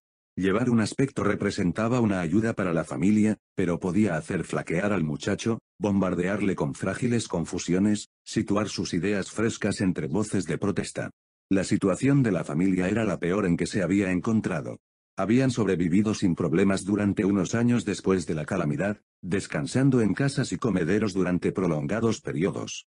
En el pasado, habían dispuesto de mucho tiempo para adquirir un aspecto y reconciliar aquellas pequeñas y dispares almas. Pero vivían ya al límite de su resistencia. No existía un refugio seguro. Los aspectos percibían la creciente desesperación que reinaba entre todos ellos, la olían en los más escondidos rincones de la mente. Si Toby debía ser poseído, y poco después se veían obligados a avanzar a marchas forzadas, o sufrían un ataque. Mientras hacía las siguientes rondas, Killian tuvo que sacudir varias veces la cabeza con furia para despejarla. Cada vez que pensaba en su situación, se imaginaba a Toby aceptando un aspecto. No podía permitir que aquello ocurriera. Pero mucho más fuerte era la obligación de vivir de acuerdo con las rígidas reglas de la familia. Comprendió que debía encontrar un camino entre aquellas dos certidumbres inamovibles. Pero al parecer no había manera de soslayar el destino del muchacho. Al día siguiente, habían andado a buen paso cuando Killian hizo su descubrimiento. Se asomó con precaución por encima de una colina y descubrió un valle con grietas donde una gran losa de piedra había resistido el empuje ascendente del salpicado. Unas pequeñas corrientes de agua corrían por allí. Llamó a Jocelyn. Hay un camino fácil por la izquierda. Agua a la vista. Marchad a prisa bajando la pendiente cuando coronéis la cresta. Se dirigió rápidamente cuesta abajo, atravesó el ondulado valle y subió por un paso que se iba estrechando y que prometía un pasaje fácil hasta el otro lado. Bebió hasta saciarse en una corriente de agua. Estaba fresca y tenía un sabor fuerte, le escocía en las manos cuando las acopaba para beber en ellas. Luego, cuando la familia apareció por detrás de él sobre la occidentada línea de cimas, reemprendió la marcha. Había ascendido hasta la mitad de la cuesta cuando descubrió un solitario bloque de piedra, medio inclinado sobre el suelo. Tenía que ser una obra hecha por el hombre, ya que los mex pulían y cortaban sus trabajos sobre piedra con rayos láser. Se trataba de un granito gris, moteado y vasto, tenía vetas de alabastro y estaba cruzado por signos que sin duda significaban algo. Las aristas desgastadas y los descoloridos grabados de las letras hablaban de una gran antigüedad. Ni en la ciudadela había visto rocas trabajadas con tantos adornos, ni tan viejas. Todo aquello le intrigaba y al fin aceptó la insistencia de Arthur. Es muy antigua, te lo garantizo. Muchísimo más vieja que yo. Arcaica. No es el tipo de texto que yo hubiera escrito, a pesar de que yo era algo parecido a un escriba o a un bardo en mi primera vida. Léelo. Bueno, pero he de darle la forma y la entonación adecuadas. Aquel, por cuyo brazo fue inscrita la fama, cuando en batalla por los extensos países machacó y rechazó el primer ataque. Con su pecho dividió la acometida de los enemigos, aquellos horribles mecanismos locos que no tenían piedad para los caídos. Aquel, que se enfrentó en la guerra contra las siete clases de muertos vivientes. Por su victoria nieve clara cayó en poder de la humanidad. Aquel, de cuyo valor las brisas perfuman todavía el océano del sur. Aquel, por cuyo ardor fueron consumidas definitivamente las máquinas mediante un gran calor radiante. Él, que como un fuego ya apagado en un gran bosque no abandona hoy su tesoro, nieve clara. Él, que guió a la humanidad desde los palacios de acero que volaban por lo alto. Él, que como si estuviera cansado, ha abandonado la vida aparente.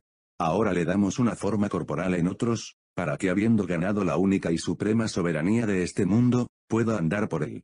Nieve clara, conseguida por su brazo. Él, que llevaba el nombre de Chandra. Él, que expandió la humanidad en los nombres de las piezas. Él, que repartió los cielos entre las familias.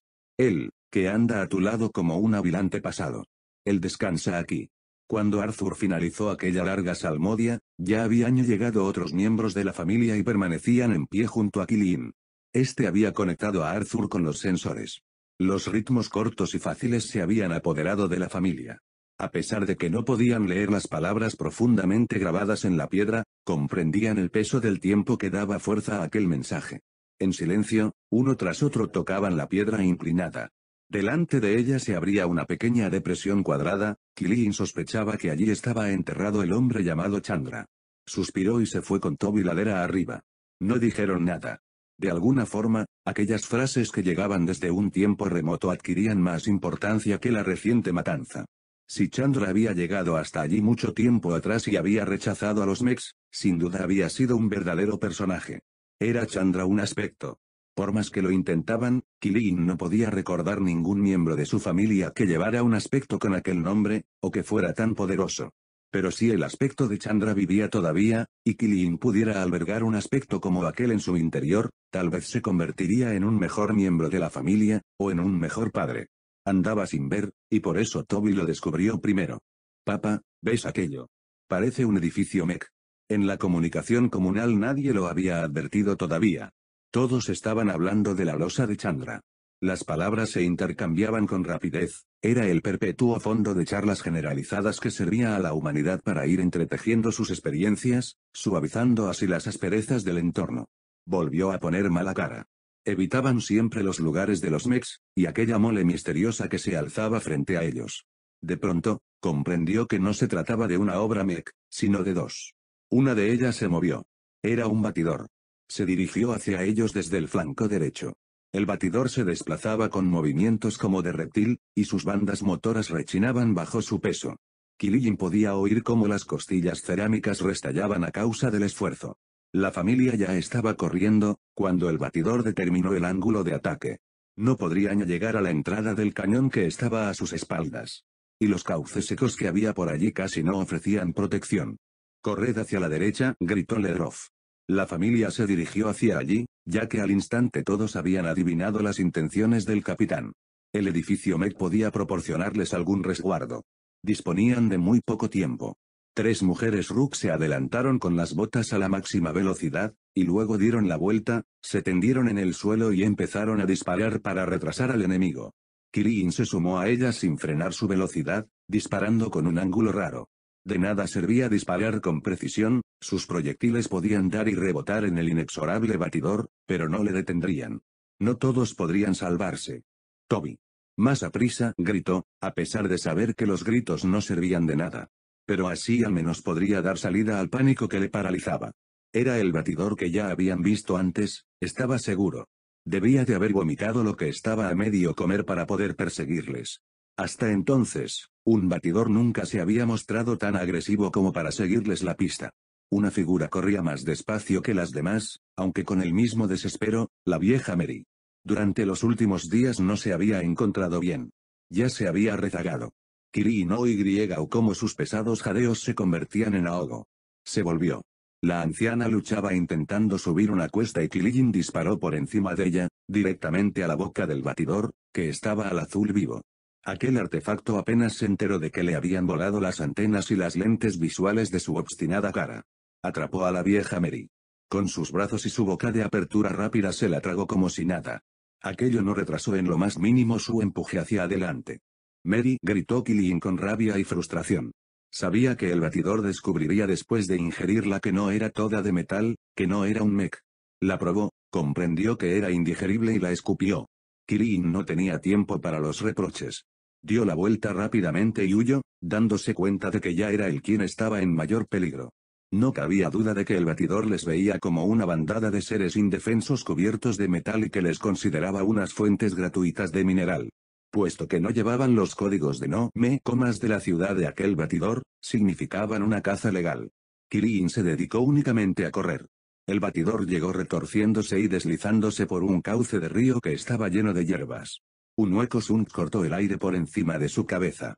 Era un estrepitoso sonido que mezclaba los retumbos infrasónicos que llegaban hasta sus pies con los crujidos electromagnéticos que aumentaban de frecuencia hasta hacerle rechinar los dientes. El batidor trataba de confundirle, revolviéndole los sensores. Agachó la cabeza, aunque de poco le valió, y desconectó todos sus receptores sensitivos. Exceptuando su visión, que saltaba rápidamente de un sitio a otro, se quedó sin sentir ni oír nada. Toby, que iba por delante de él, tropezó. Kilijin le agarró por el hombro y la cadera y le hizo remontar un banco de arena. Otro Sun levantó unos apagados ecos en su mente que había quedado aislada. Era tan potente que pilló desprevenido a Toby, quien cayó desplomado. Quedó doblado, haciendo esfuerzos para poder respirar. Con un movimiento rápido, Kilijin se cargó el peso de Toby sobre la espalda. El batidor, que ya estaba mucho más cerca, mandó un febril chispazo neural que se transmitió en zigzag por la pierna de Kilin. Sus músculos saltaron, chillaron y se quedaron tan inertes como si fueran de piedra. Kilin cayó hacia adelante. El edificio Mech apareció ante su vista. Era alto, imponente, mucho más alto que las habituales construcciones Mex. No iba a poder llegar. Se tambaleó. Kilin, gritó alguien. La arena se deslizó por debajo de sus botas y el cielo empezó a bailar. Echó mano a su arma. El batidor caería sobre él al cabo de un instante. Si pudiese dispararle con seguridad y rapidez muchas veces. Luego, el mundo se precipitó sobre él. Un ruido estrepitoso. Los crujidos que emitía el batidor sonaban huecos y disminuían. Alguien le daba golpes en la espalda. El peso de Toby se le escurrió de los hombros. Su aparato sensorial estaba inundado de ruidos dispersos, se había conectado gracias a alguna señal que lo liberó. Kirin se volvió para enfrentarse con el batidor. Solo pudo ver la parte posterior, donde se alojaban unos enormes cilindros grises en funcionamiento. Se retiraba. Sermo el lento gritaba. Si no hubieras cerrado el receptor auditivo, le habrías oído berrear. Se volvía loco. ¿Por qué? ¿Por qué se ha detenido? Aquella cosita de allí. Una diminuta pirámide asomaba a través de la plataforma de piedra arenisca sobre la que se hallaban. Kilijin había pasado por su lado sin fijarse en ella. Parpadeó al contemplar aquella obra tan bien construida. ¿Cómo? No lo sé. Debe de haber dado órdenes al batidor. A Kilijin le habían descrito objetos como aquel, pero nunca los había visto. El monumento de cuatro lados, de superficies cromadas, tenía unos dibujos muy recargados que al parecer habían ordenado al batidor que no se acercara más. La familia le gritaba con júbilo. Toby estaba bien. Sibo sonreía.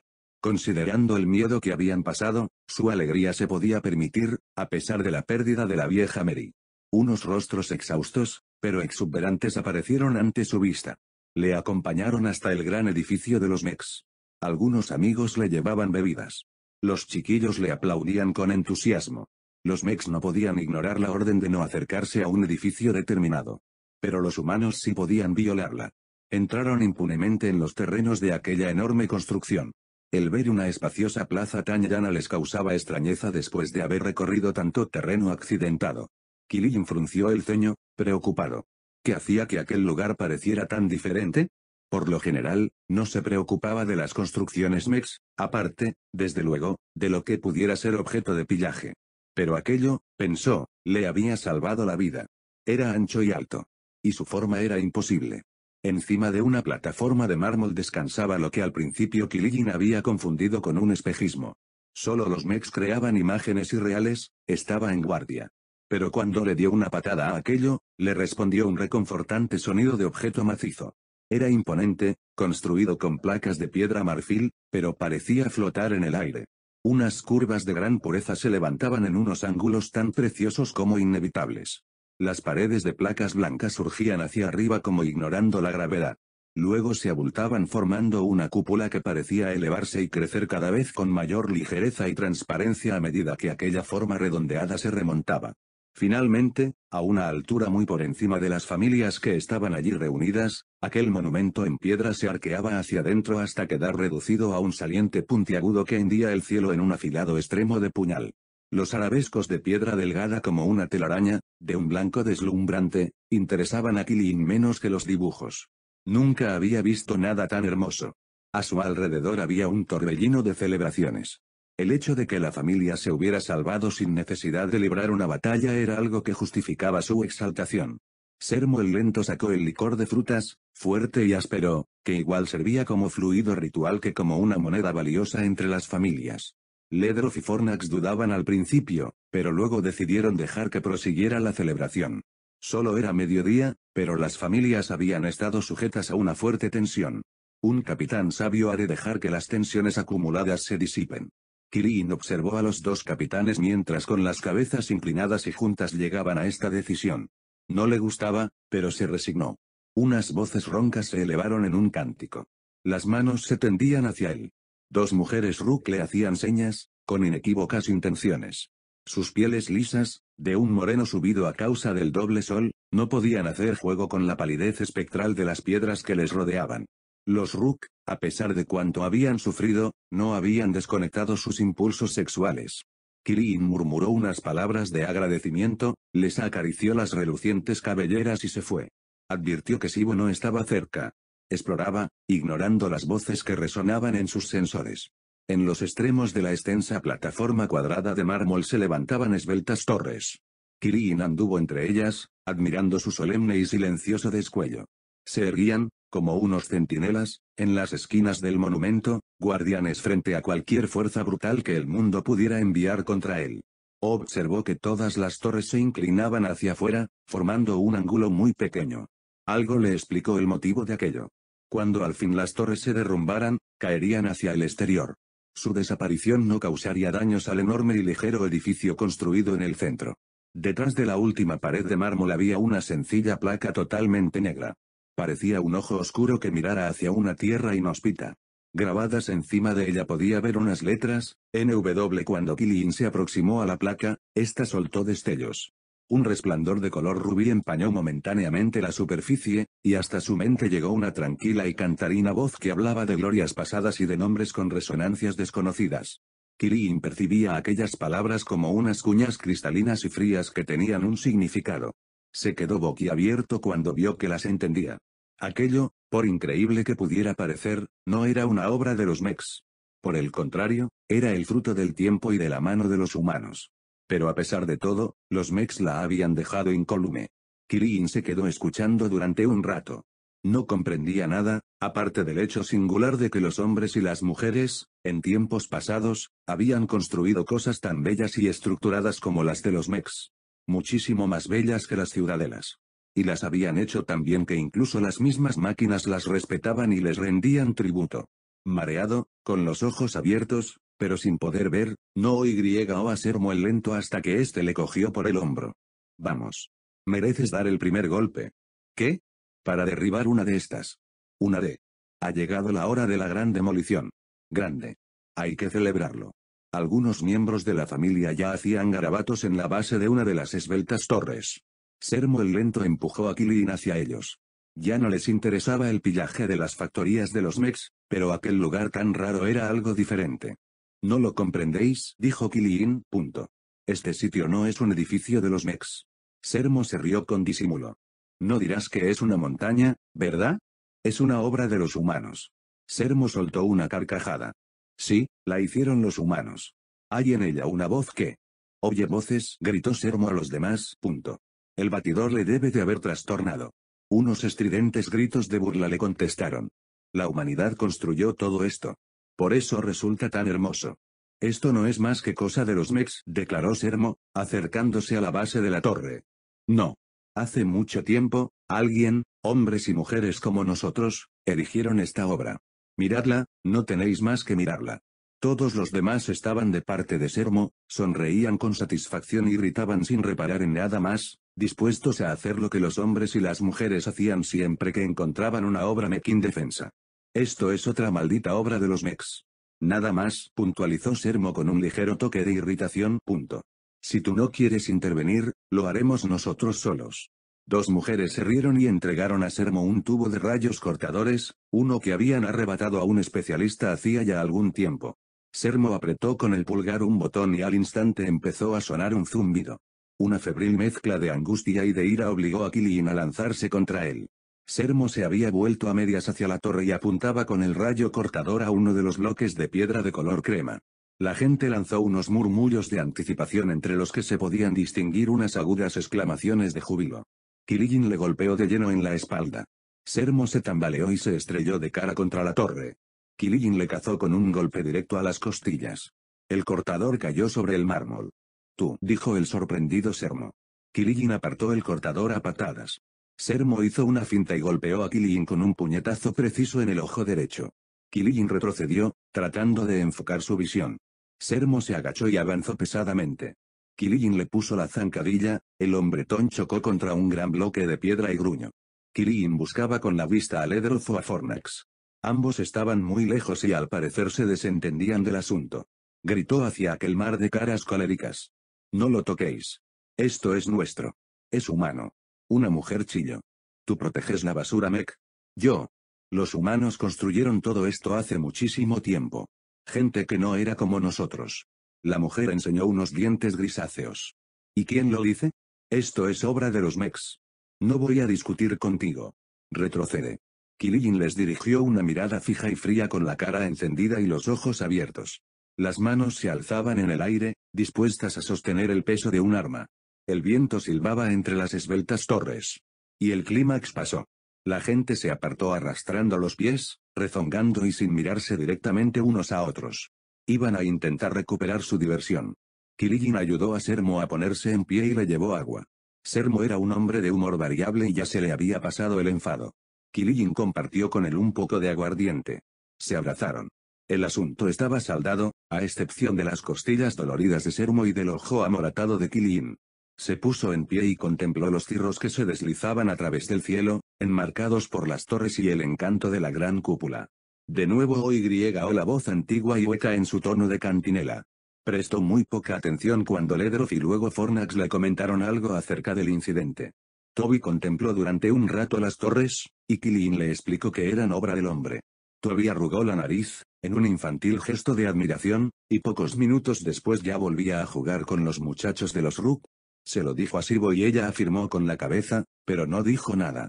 A su alrededor el impulso de fiesta se fue consumiendo lentamente. Los capitanes decidieron aumentar la distancia entre ellos y el batidor. Después de todo, las familias ya habían comido y podían retomar la velocidad que llevaban antes. A pesar de los gruñidos y de las quejas, ordenaron que las familias reemprendieran la marcha. Kirin sacudió la cabeza y amortiguó la voz de tiempos remotos hasta convertirla en un suave y apagado gorjeo. A él también le hubiera gustado descansar durante algún tiempo. Para llorar a la vieja Mary. Para celebrar una fiesta. Para aliviar mediante los cuentos y las celebraciones la humillación que le había causado el batidor. Killian ponía mala cara mientras preparaba la mochila. Si los Mex respetaban aquel lugar, también los humanos debían hacerlo. De aquello estaba completamente seguro. En marcha, gritó Ledroff, abrid los flancos, vamos. Abandonaron la plaza sin mirar hacia atrás. Arthur estaba excitado, pero Killian no estaba de humor para escucharle con atención. El aspecto no podía explicar cómo ni por qué había aparecido allí aquel monumento. Arthur no tenía noticia de nada parecido a aquello que hubiera ocurrido en sus tiempos. Al parecer, no tenía la menor conexión con la lápida de Chandra que se levantaba allí cerca. Killian redujo la excitación intrigada de Arthur. De nuevo se colocó en el ala izquierda para la jornada que les esperaba. Arthur iba repitiendo un nombre. Iba dándole vueltas en su mente, tratando de descubrir su significado. No se parecía a ninguno de los idiomas que había conocido durante toda su vida. Al final, desistió.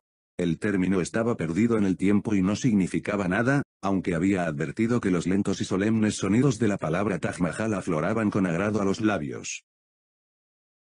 Capítulo 5 A la mañana siguiente, Killian se levantó para oír las noticias que zumbaban a través del campamento. Durante la guardia nocturna, Sibo había descubierto un peón que les observaba desde un monte lejano. Había disparado contra él, pero el rayo no le había alcanzado o, lo que tal vez fuera peor, había sido desviado. Ledroff y Fornax decidieron enviar un equipo de rastreo en pos del peón. Los dos capitanes se llevaron a sus respectivas familias en ángulos divergentes. Seis voluntarios formaban la partida. Había dos hombres de los Bishop, que todavía estaban muy afectados por las muertes de sus familiares causadas por el mantis. Otros dos eran mujeres de los Rook, enjutas y angulosas. Llevaban los cabellos muy cortos y enrollados en apretados nudos formando un dibujo y unos caracteres procedentes de algún antiguo símbolo monumental, cuyo significado nadie conocía. Eran campeonas de carreras, entrenadas para la caza y muy aficionadas a la persecución. Sibo, aunque no era una campeona, propiamente dicho, tenía amistad con ellas y también se presentó voluntaria. Ellas se reían y bromeaban con los dos hombres, y a que era el sexto, no le parecían diferentes de las otras mujeres que había conocido. La familia de los Bishop no tenía mujeres cazadoras, aunque en ciertos aspectos Jocelyn era también una campeona.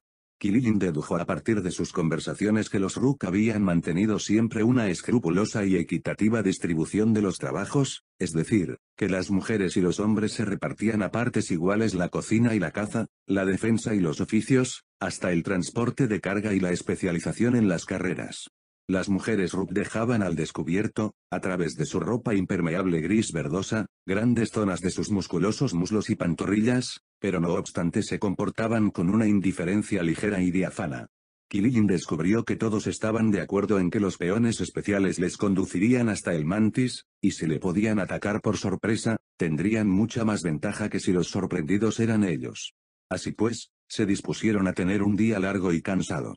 A pesar de que en el transcurso de los siglos habían adquirido una constitución muy apta para la carrera, Killian sabía que tenía que reservar energías y controlarse.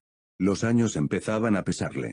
Los ya habituales dolores en rodillas y caderas le decían que estaba llegando al límite de su resistencia. Unas débiles sensaciones llegaban desde sus sensores insertados, que le transmitían su inventario micromolecular. Killian lo recibía de forma automática y lo tenía en cuenta, aunque no tenía ni idea de su origen. Todavía está bien, le transmitió Sibo. Killian parpadeó. ¿Tan fácil te resulta adivinar mis pensamientos? Pero tienes razón, no me gusta dejarle atrás. Al parecer, el mantis solo ataca a los mayores. Eso es lo que me repito sin cesar. Supongo que vale la pena que nos expongamos para intentar saltar por sorpresa sobre él. Ten confianza. Todos confiamos, le aconsejó ella, pensativa. Desde que empezaron a correr, habían seguido las huellas del peón a lo largo de un arroyo pantanoso.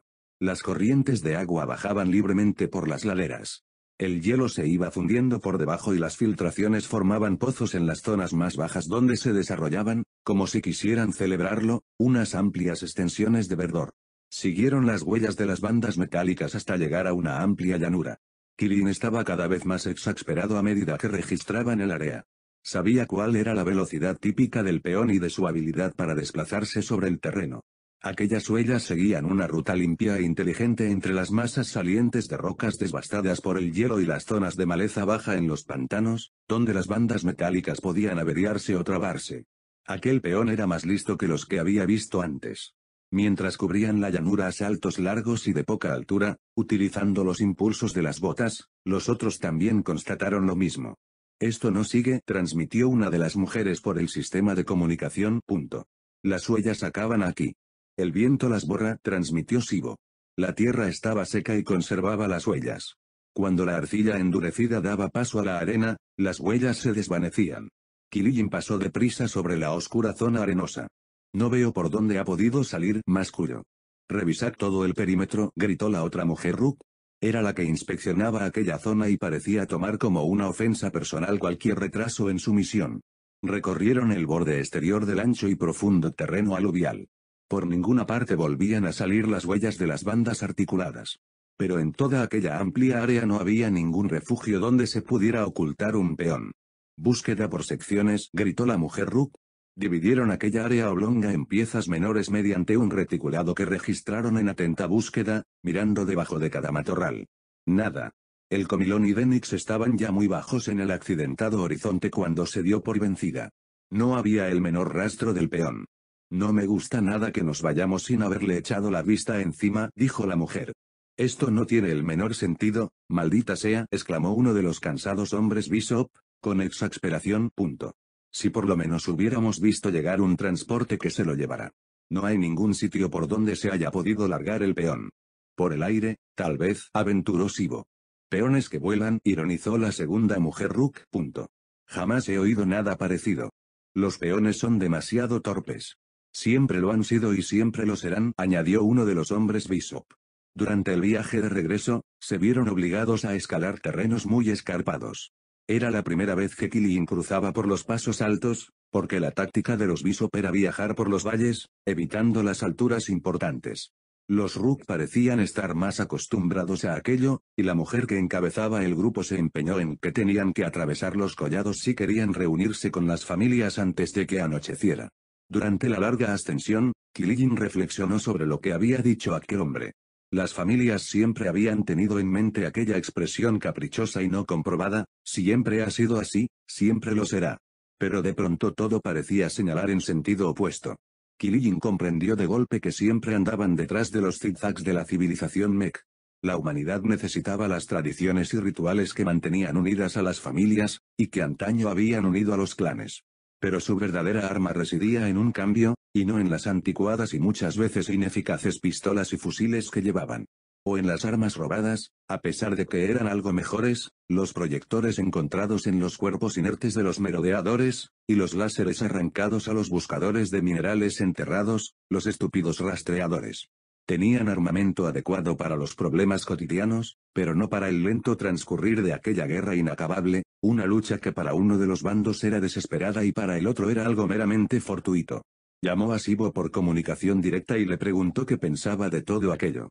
La autosuficiencia y el distanciamiento que había mantenido la mujer se habían suavizado ligeramente, y Killigin había vencido en parte su timidez.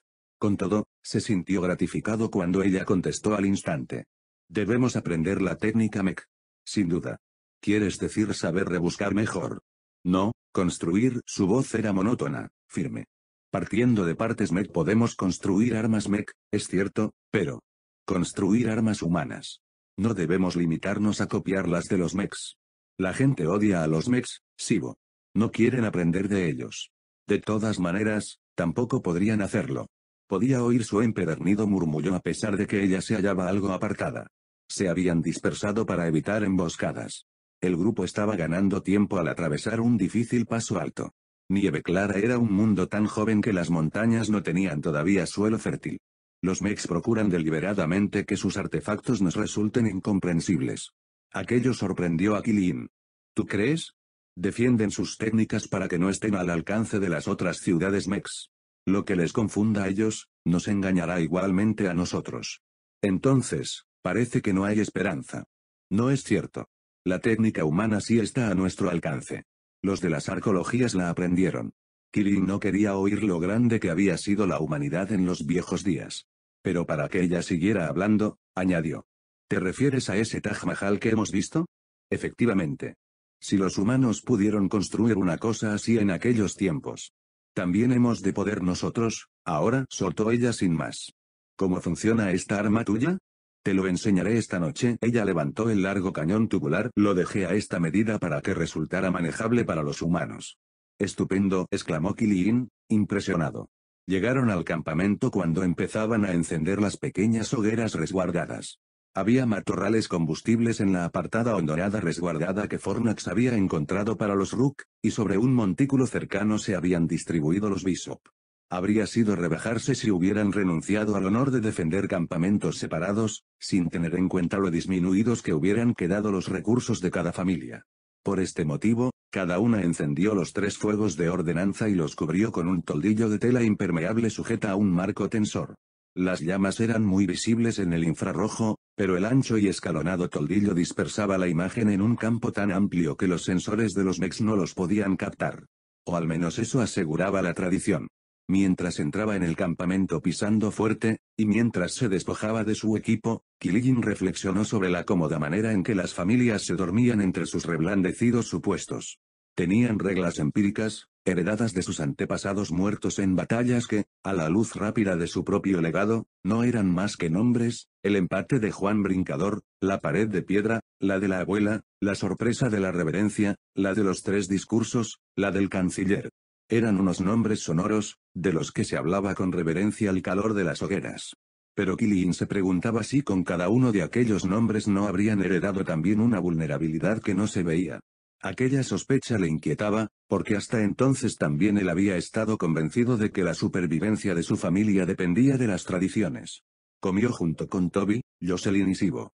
Todos ellos recogieron raíces y bayas, un agradable complemento de la comida comprimida que llevaban con ellos desde el último comedero. Primero comprobaron si eran compatibles con la biología humana, y luego las aplastaron, mezclaron y calentaron con agua del río, la papilla que obtuvieron desprendía un aroma apetitoso. No tardaron mucho en dar cuenta de todo aquello. Después, la familia se dispuso a disfrutar de uno de los ratos más agradables de sus jornadas, era un periodo de tiempo de relajación y de sensación de plenitud que echaba un piadoso telón sobre las preocupaciones para facilitarles el inminente sueño. Entonces empezaron las charlas. Se desarrollaban alrededor de los tres fuegos protegidos que, como espirales de encantamiento, les hacían olvidar sus maltrechos cuerpos y los constantes temores. Dos Rook visitantes describieron sus huidas y batallas. Las mujeres Rook intercambiaron explicaciones de los olores y señales que permitían descubrir a los Mexi cómo leer sus huellas para saber cuándo las habían hecho y con qué intención. Contaron que algunas veces se escondían con astucia cerca de las fuentes y lagunas. Primero Fornax inició un ligero debate, y luego lo hizo Ledroff. Todos disfrutaban con la unión de las dos familias, porque aquello significaba una avalancha de nuevos cuentos, bromas e historias. Había también rumores de amoríos, pero Ledroff los cortó de plano levantando una ceja y poniendo mala cara. Era preferible no fomentar aquellas cosas. A pesar de todas las adversidades, los Rook no habían disminuido sus impulsos sexuales, y los Bishop no estaban en condiciones de ofrecer una respuesta a sus insinuaciones a causa de sus líbidos deshidratadas. Aquello podía provocar un cierto descontento triste y melancólico. El éxito tiene muchas voces, pero el fracaso es mudo.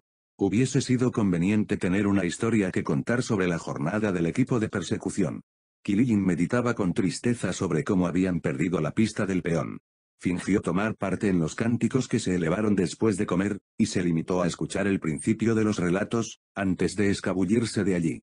A Sermo no se le escapó su estado de ánimo y se acercó a él, ofreciéndole un frasco del áspero pero poderoso aguardiente. Kirin sintió una inmediata y punzante necesidad de beber, alargó el brazo, pero luego cambió de idea. Creo que será mejor no beber hoy. Vamos, vamos. Ha sido un día duro. Un poco de alcohol te sentará bien. Me haría caer de culo. Me atontaría. Si dejas que empiece, voy a tragarme todo lo que tienes. No antes de que yo pegue un trago, replicó Sermo con sorna, y Kilin descubrió que el hombre ya había bebido más de la cuenta. Lo siento, Sermo, dijo cariñosamente. Tuvo que hacer un esfuerzo consciente para alejarse de allí. Ya casi podía notar el áspero sabor del agua ardiente, y oler sus espesos vapores. Pero sabía lo que tenía que hacer y cómo acabaría si se permitía beber. Escapar hasta los refugios embrutecidos de la propia mente resultaba demasiado fácil. Hasta entonces había tenido mucha suerte. Nada peligroso le había ocurrido mientras bebía o estaba con resaca o se conectaba a un circuito estimulador en un comedero. Pero la suerte no puede durar siempre. Debía mantenerse con la mente clara si quería aprender de una vez. Se impuso el ir en busca de Sibo, que estaba sola. Los pómulos altos de la mujer recogían la media luz. El efecto subrayaba sus ojos y los hacía aparecer misteriosos e insondables. Como el último miembro de los Knit, siempre sería bien recibida alrededor de los fuegos de campamento pero ella los frecuentaba en raras ocasiones, y prefería juguetear con piezas mex que siempre llevaba en una mochila negra. Killian pasó una hora con ella, que a él le pareció un día entero. No se había sentido tan intimidado y humilde desde los días en que salía con su padre en modestas incursiones para buscar piezas de desguace. Sibo no solo dominaba la técnica de los mechs, sino que la hacía comprensible. Era capaz de recargar las municiones de su fusil. Sabía cómo realinear el alma del mismo. A partir de piezas viejas de los mechs, había hecho un cargador que se adaptaba perfectamente a la caja del arma.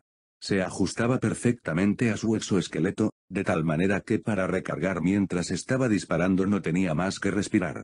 Killian admiraba la habilidad con que aprovechaba su deficiencia, las siempre móviles costillas de su exoesqueleto, y la convertía en una ventaja. Disparaba con una rapidez que Killian no había visto en nadie. Mientras le enseñaba, se mostró mucho más comunicativa que en cualquier otra situación anterior. Cuando era una jovencita, le habían adaptado un exoesqueleto. Una mujer artesana se lo había fabricado con espuma de policarbón, aprovechando restos de los mechs. Killian sospechaba que aquello había potenciado la habilidad de Sibo para traducir los embrollos de los mechs a términos humanos. Tal vez aquella circunstancia era lo que la había salvado después de la calamidad de los Knit. Mientras le enseñaba, no mostraba presunción ni jactancia, solo una penetrante atención a lo que estaba haciendo. A muchos miembros de las familias les desagradaban los artefactos mex y únicamente toleraban aquellos cuya estructura se adaptaba a ojos vista a la forma humana. Las perneras, los amortiguadores de choques adaptados a las pantorrillas, las chaquetas de molibreno, eran instrumentos a los que Killian estaba habituado. Hubo de reprimir su rechazo ante los nuevos artefactos que Sibo le mostraba. Luego, de forma progresiva, empezó a sentirse intrigado. En las manos de Sibo, los objetos alienígenas adquirían una dimensión humana que los redimía.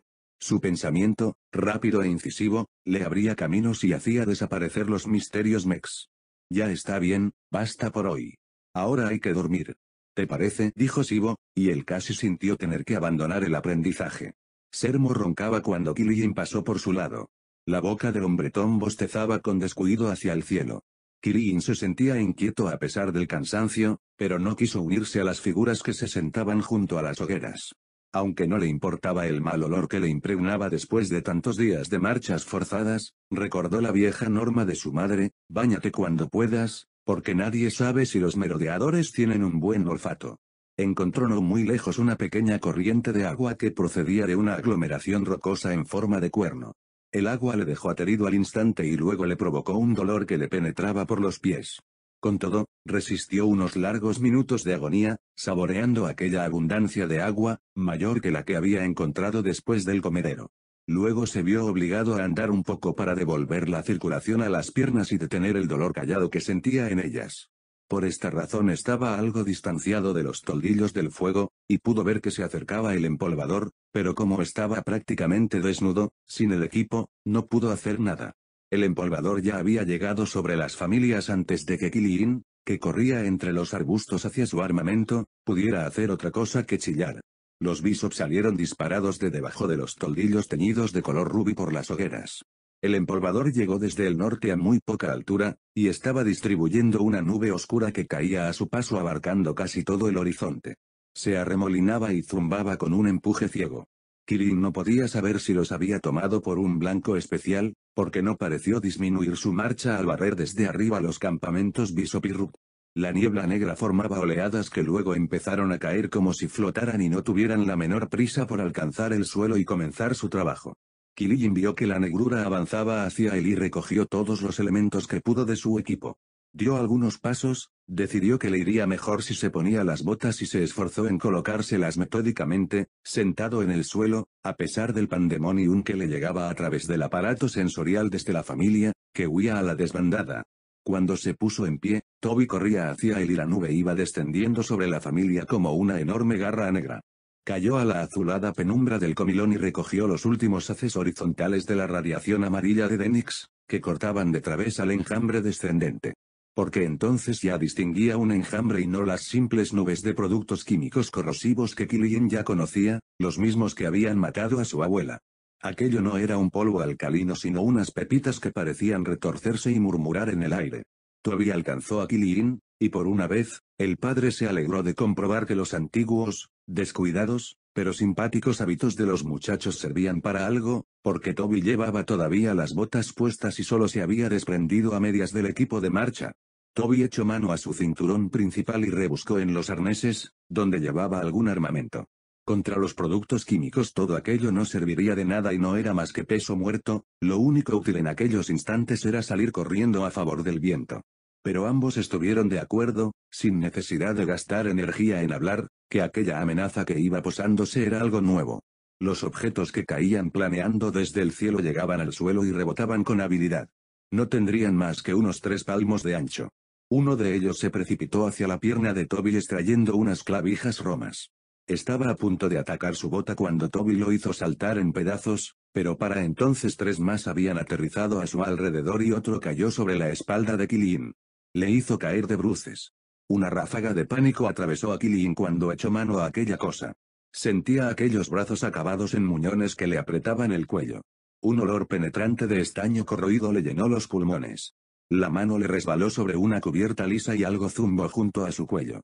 Aquello le dio un pinchazo de frío acero que se extendió como un dolor abrasante. Pudo hacer presa en el artefacto y lo retorció con fuerza hacia abajo. Mantuvo la posición. Encontró un punto de apoyo para su otra mano y dio un tirón. El artefacto todavía seguía apretándole. Intentó revolcarse sobre sí mismo, pero de alguna manera la máquina contrarrestó el movimiento y siguió aferrada a él. No llevaba los guantes puestos, y cuando asió los dos brazos romos que le estrangulaban, con los dedos tocó algo que parecía estar al rojo blanco, insoportable. Unas afiladas hachas de hielo le escarbaban la cara. Guiándose por el tacto, Killian trataba de imaginarse la forma de aquello. Encontró el borde inferior e hizo fuerza en él hacia afuera, pero no consiguió moverlo. Se retorció y logró colocar ambas manos bajo el reborde.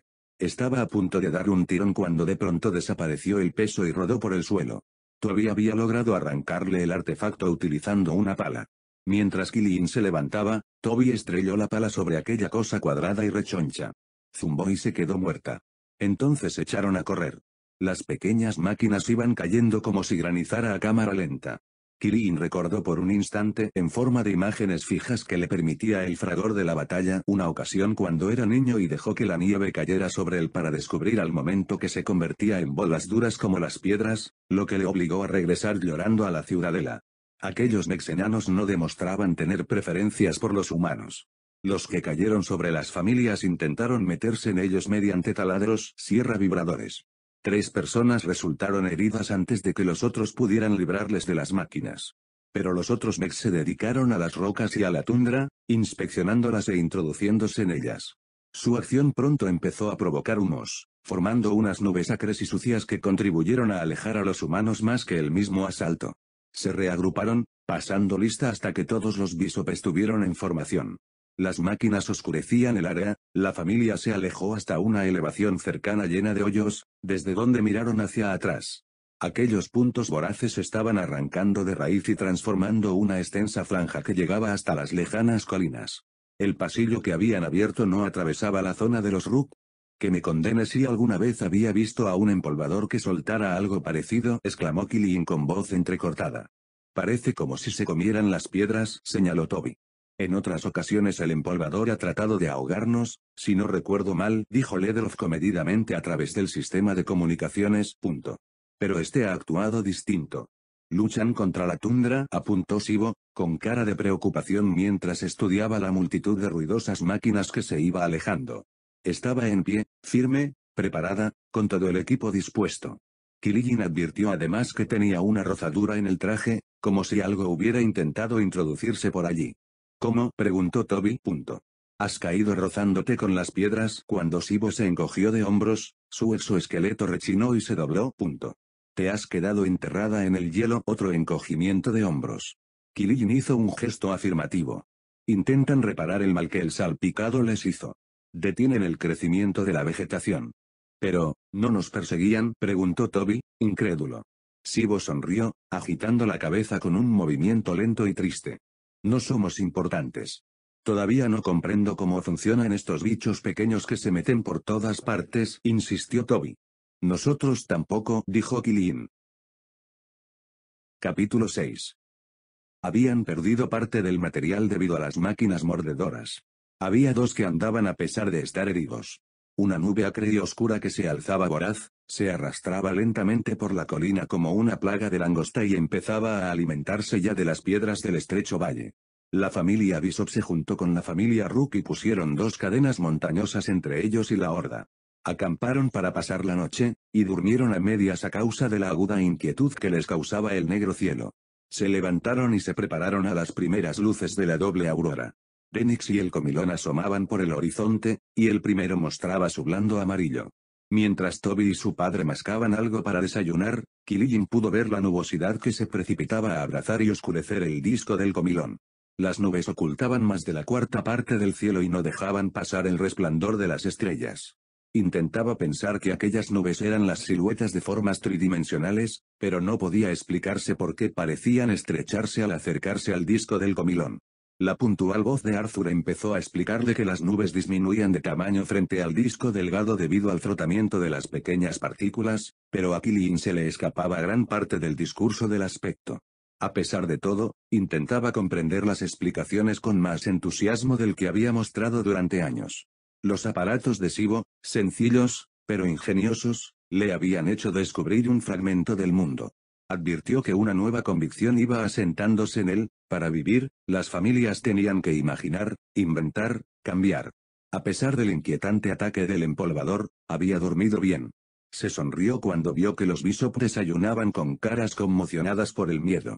La tristeza era el sino de la humanidad, Killian llevaba esta aserción imbuida en la médula de los huesos. Toda la presunción de los aspectos cuando hablaban de las pasadas glorias no podía ocultar este hecho.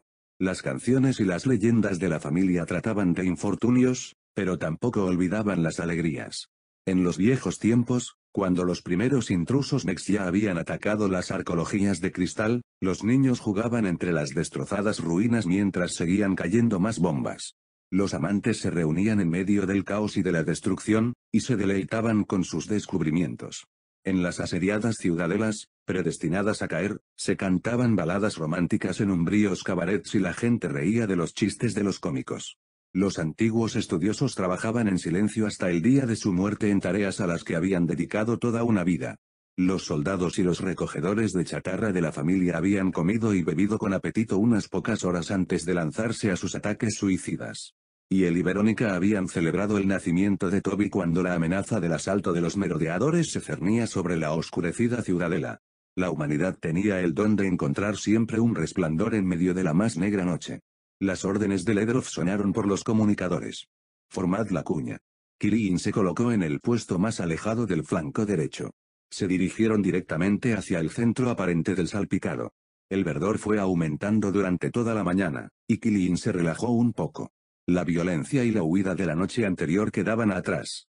Killian permitió que Toby saliera de las filas intermedias y se colocara a su lado, en el puesto situado a la izquierda de Killian a lo largo del eje del triángulo móvil de la familia. La punta de flecha de los Rook llevaba buena marcha, a la distancia del ancho de una colina, más hacia la derecha. Subían por la ladera cuando simultáneamente sucedieron dos cosas. Sí, yo también oigo algo, comunicó Toby, respondiendo sin duda a una llamada procedente del flanco izquierdo. Killian preguntó. ¿Qué es esto? Unos pitidos en los comunicadores. No son de los nuestros, contestó Toby. De los Ruth. Negativo. Vienen y se van. Creo que no son de los Mex. El flanco izquierdo se abrirá un poco para echar una mirada. En aquel instante, Killian abrió la boca para contestarle y descubrió al peón. Estaba desviándose hacia la derecha y avanzaba a gran velocidad en dirección a un puerto que le permitiría sobrepasar la línea de cresta. Tenía las consabidas líneas entrecruzadas. Kirin no se lo pensó dos veces, ni siquiera una. El hecho de haber perdido antes al peón le estaba reconcomiendo, saltó hacia arriba con paso rápido y con las botas a plena potencia. Su grito de advertencia sonó por el sistema sensorial conjunto, pero no era la llamada normal de un hombre sino el grito instintivo de un animal en plena cacería. Sus botas se hundían en la grava y en la tierra suelta cada vez que se lanzaba hacia adelante, formando un ángulo cerrado mientras corría, es decir, iba inclinado hacia adelante y empujando fuerte con un impulso casi paralelo a la pendiente del terreno. De forma confusa oía a Toby que se revolvía en el polvo mientras corría tras él ladera arriba. Sibo le seguía más atrás. Incluso Sermo el Lento abandonó su puesto en la retaguardia del flanco, lo que era contrario a las órdenes. Sermo no se retrasaba a pesar de la resaca y lanzó su grito de cazador a través del comunicador. El peón desapareció detrás de la cumbre. Kilin corrió para interceptarle, suponiendo que se dejaría caer por la vertiente para adquirir velocidad en vez de limitarse a dar la vuelta a la colina. Solo cuando hubo cruzado la cresta, calculó que el peón podría haberse reunido ya con el mantis, y cuando esta idea se le ocurrió de repente, dejó que su propio impulso le condujera hasta un montículo de hierba blanda donde podría resguardarse. Tomó unos primeros planos visuales del valle que yacía a sus pies, frente a él. Estaba vacío. Cambió los filtros y sacudió la cabeza para eliminar cualquier posible espejismo proyectado. Nada, Solo distinguía la figura del peón que bajaba a buen paso por la ladera, en línea recta. Aquel rumbo le llevaría hasta la mujer que avanzaba en cabeza de los Rook, al cabo de pocos minutos. Kilin volvió a examinar el valle. No descubrió distorsión ni oscilación alguna en su visión. No había ningún mantis, por lo menos cabía suponerlo. Toby llegó a grandes saltos y poco faltó para que cayera sobre su padre. Sí, allí está. Destrocémosle. Espera un poco, estudió con atención la máquina que huía. Es el mismo de ayer, quiso saber Toby. Así parece. Pues vamos. Los demás llegarán dentro de un momento. Killian veía el esquema de la familia en formación de lucha huye como unos puntos azules que aparecían en su retina. Toby gritó. Los Rook darán cuenta de él. Vamos a probar desde aquí, sugirió Killian, descolgando el arma. Punto. Será preferible dispararle desde una posición resguardada, por si.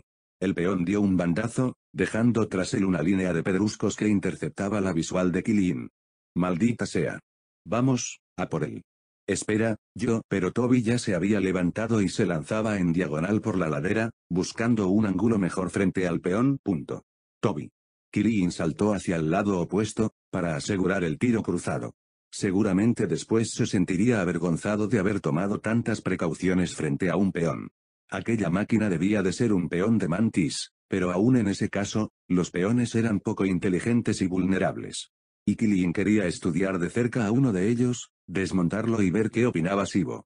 Debía aprender la técnica de los mechs, y además aprenderla deprisa. A pesar de todo ello, de repente Killian se dio cuenta de que Toby iba a quedar expuesto al cabo de pocos segundos. Con toda rapidez, disparó una ráfaga donde suponía que estaría el peón, todavía fuera de su vista. Contaba, por lo menos, con que sus disparos desviarían la atención de la máquina. Sus botas tamborileaban con fuerza a lo largo de un barranco que utilizaba como atajo, y saltó a plena potencia sobre unos arbustos. Empezó a jadear pesadamente. Cuando salió a terreno descubierto, observó que el peón hacía girar con rapidez las bandas metálicas para apartarse de la visual de Toby, pero con este movimiento se estaba colocando en la suya. Las piezas articuladas se hundían profundamente, escupiendo gravilla, y el peón se alejaba de allí a toda velocidad. Después de todo, iba a alcanzar una buena posición desde donde dispararle. La máquina no parecía preocupada por el peligro.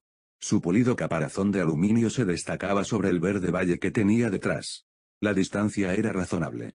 Kirin alzó el fusil y o el disparo del de Toby, que todavía no tenía un buen ángulo de tiro y estaba desperdiciando municiones. Los proyectiles hicieron saltar unos matojos que estaban lejos del peón, tanto en altura como en dirección. Un segundo disparo se acercó más, pero seguía siendo alto. El peón se detuvo y pareció mirar a su alrededor. Las líneas entrecruzadas se destacaban sobre sus paneles laterales. Killian le disparó. Vio trozos de la coraza que saltaban por el aire. El peón efectuó un movimiento rápido. Un punto oscuro apareció subiendo por la ladera, con rapidez y en trayectoria baja, y fue a dar en la cara de Killian. Le entró por el ojo derecho. Cayó de espaldas y sintió que una repentina nube negra le envolvía. Una sensación de frío, que parecía rebuscar en su interior, se extendía por la frente y por el brazo derecho hasta la mano. El hielo creaba sombras azules en sus ojos. Un relámpago de intenso color le dio un fuerte pinchazo en el codo izquierdo. Recobró la visión y el olfato. O y a unos gritos. Rodeaba por la ladera e intentó detener su caída. Las piedras se le clavaban en el costado y no podía mover la mano izquierda. Dio una patada a un pedrusco y aquello le frenó lo suficiente como para darle ocasión de agarrarse a un arbusto. Paladeó el sabor de la sangre. Alguien gritaba. Tenía el cuello atenazado por un frío intenso que le bajaba por el pecho. Los gritos eran demasiado fuertes y demasiado rápidos para comprenderlos.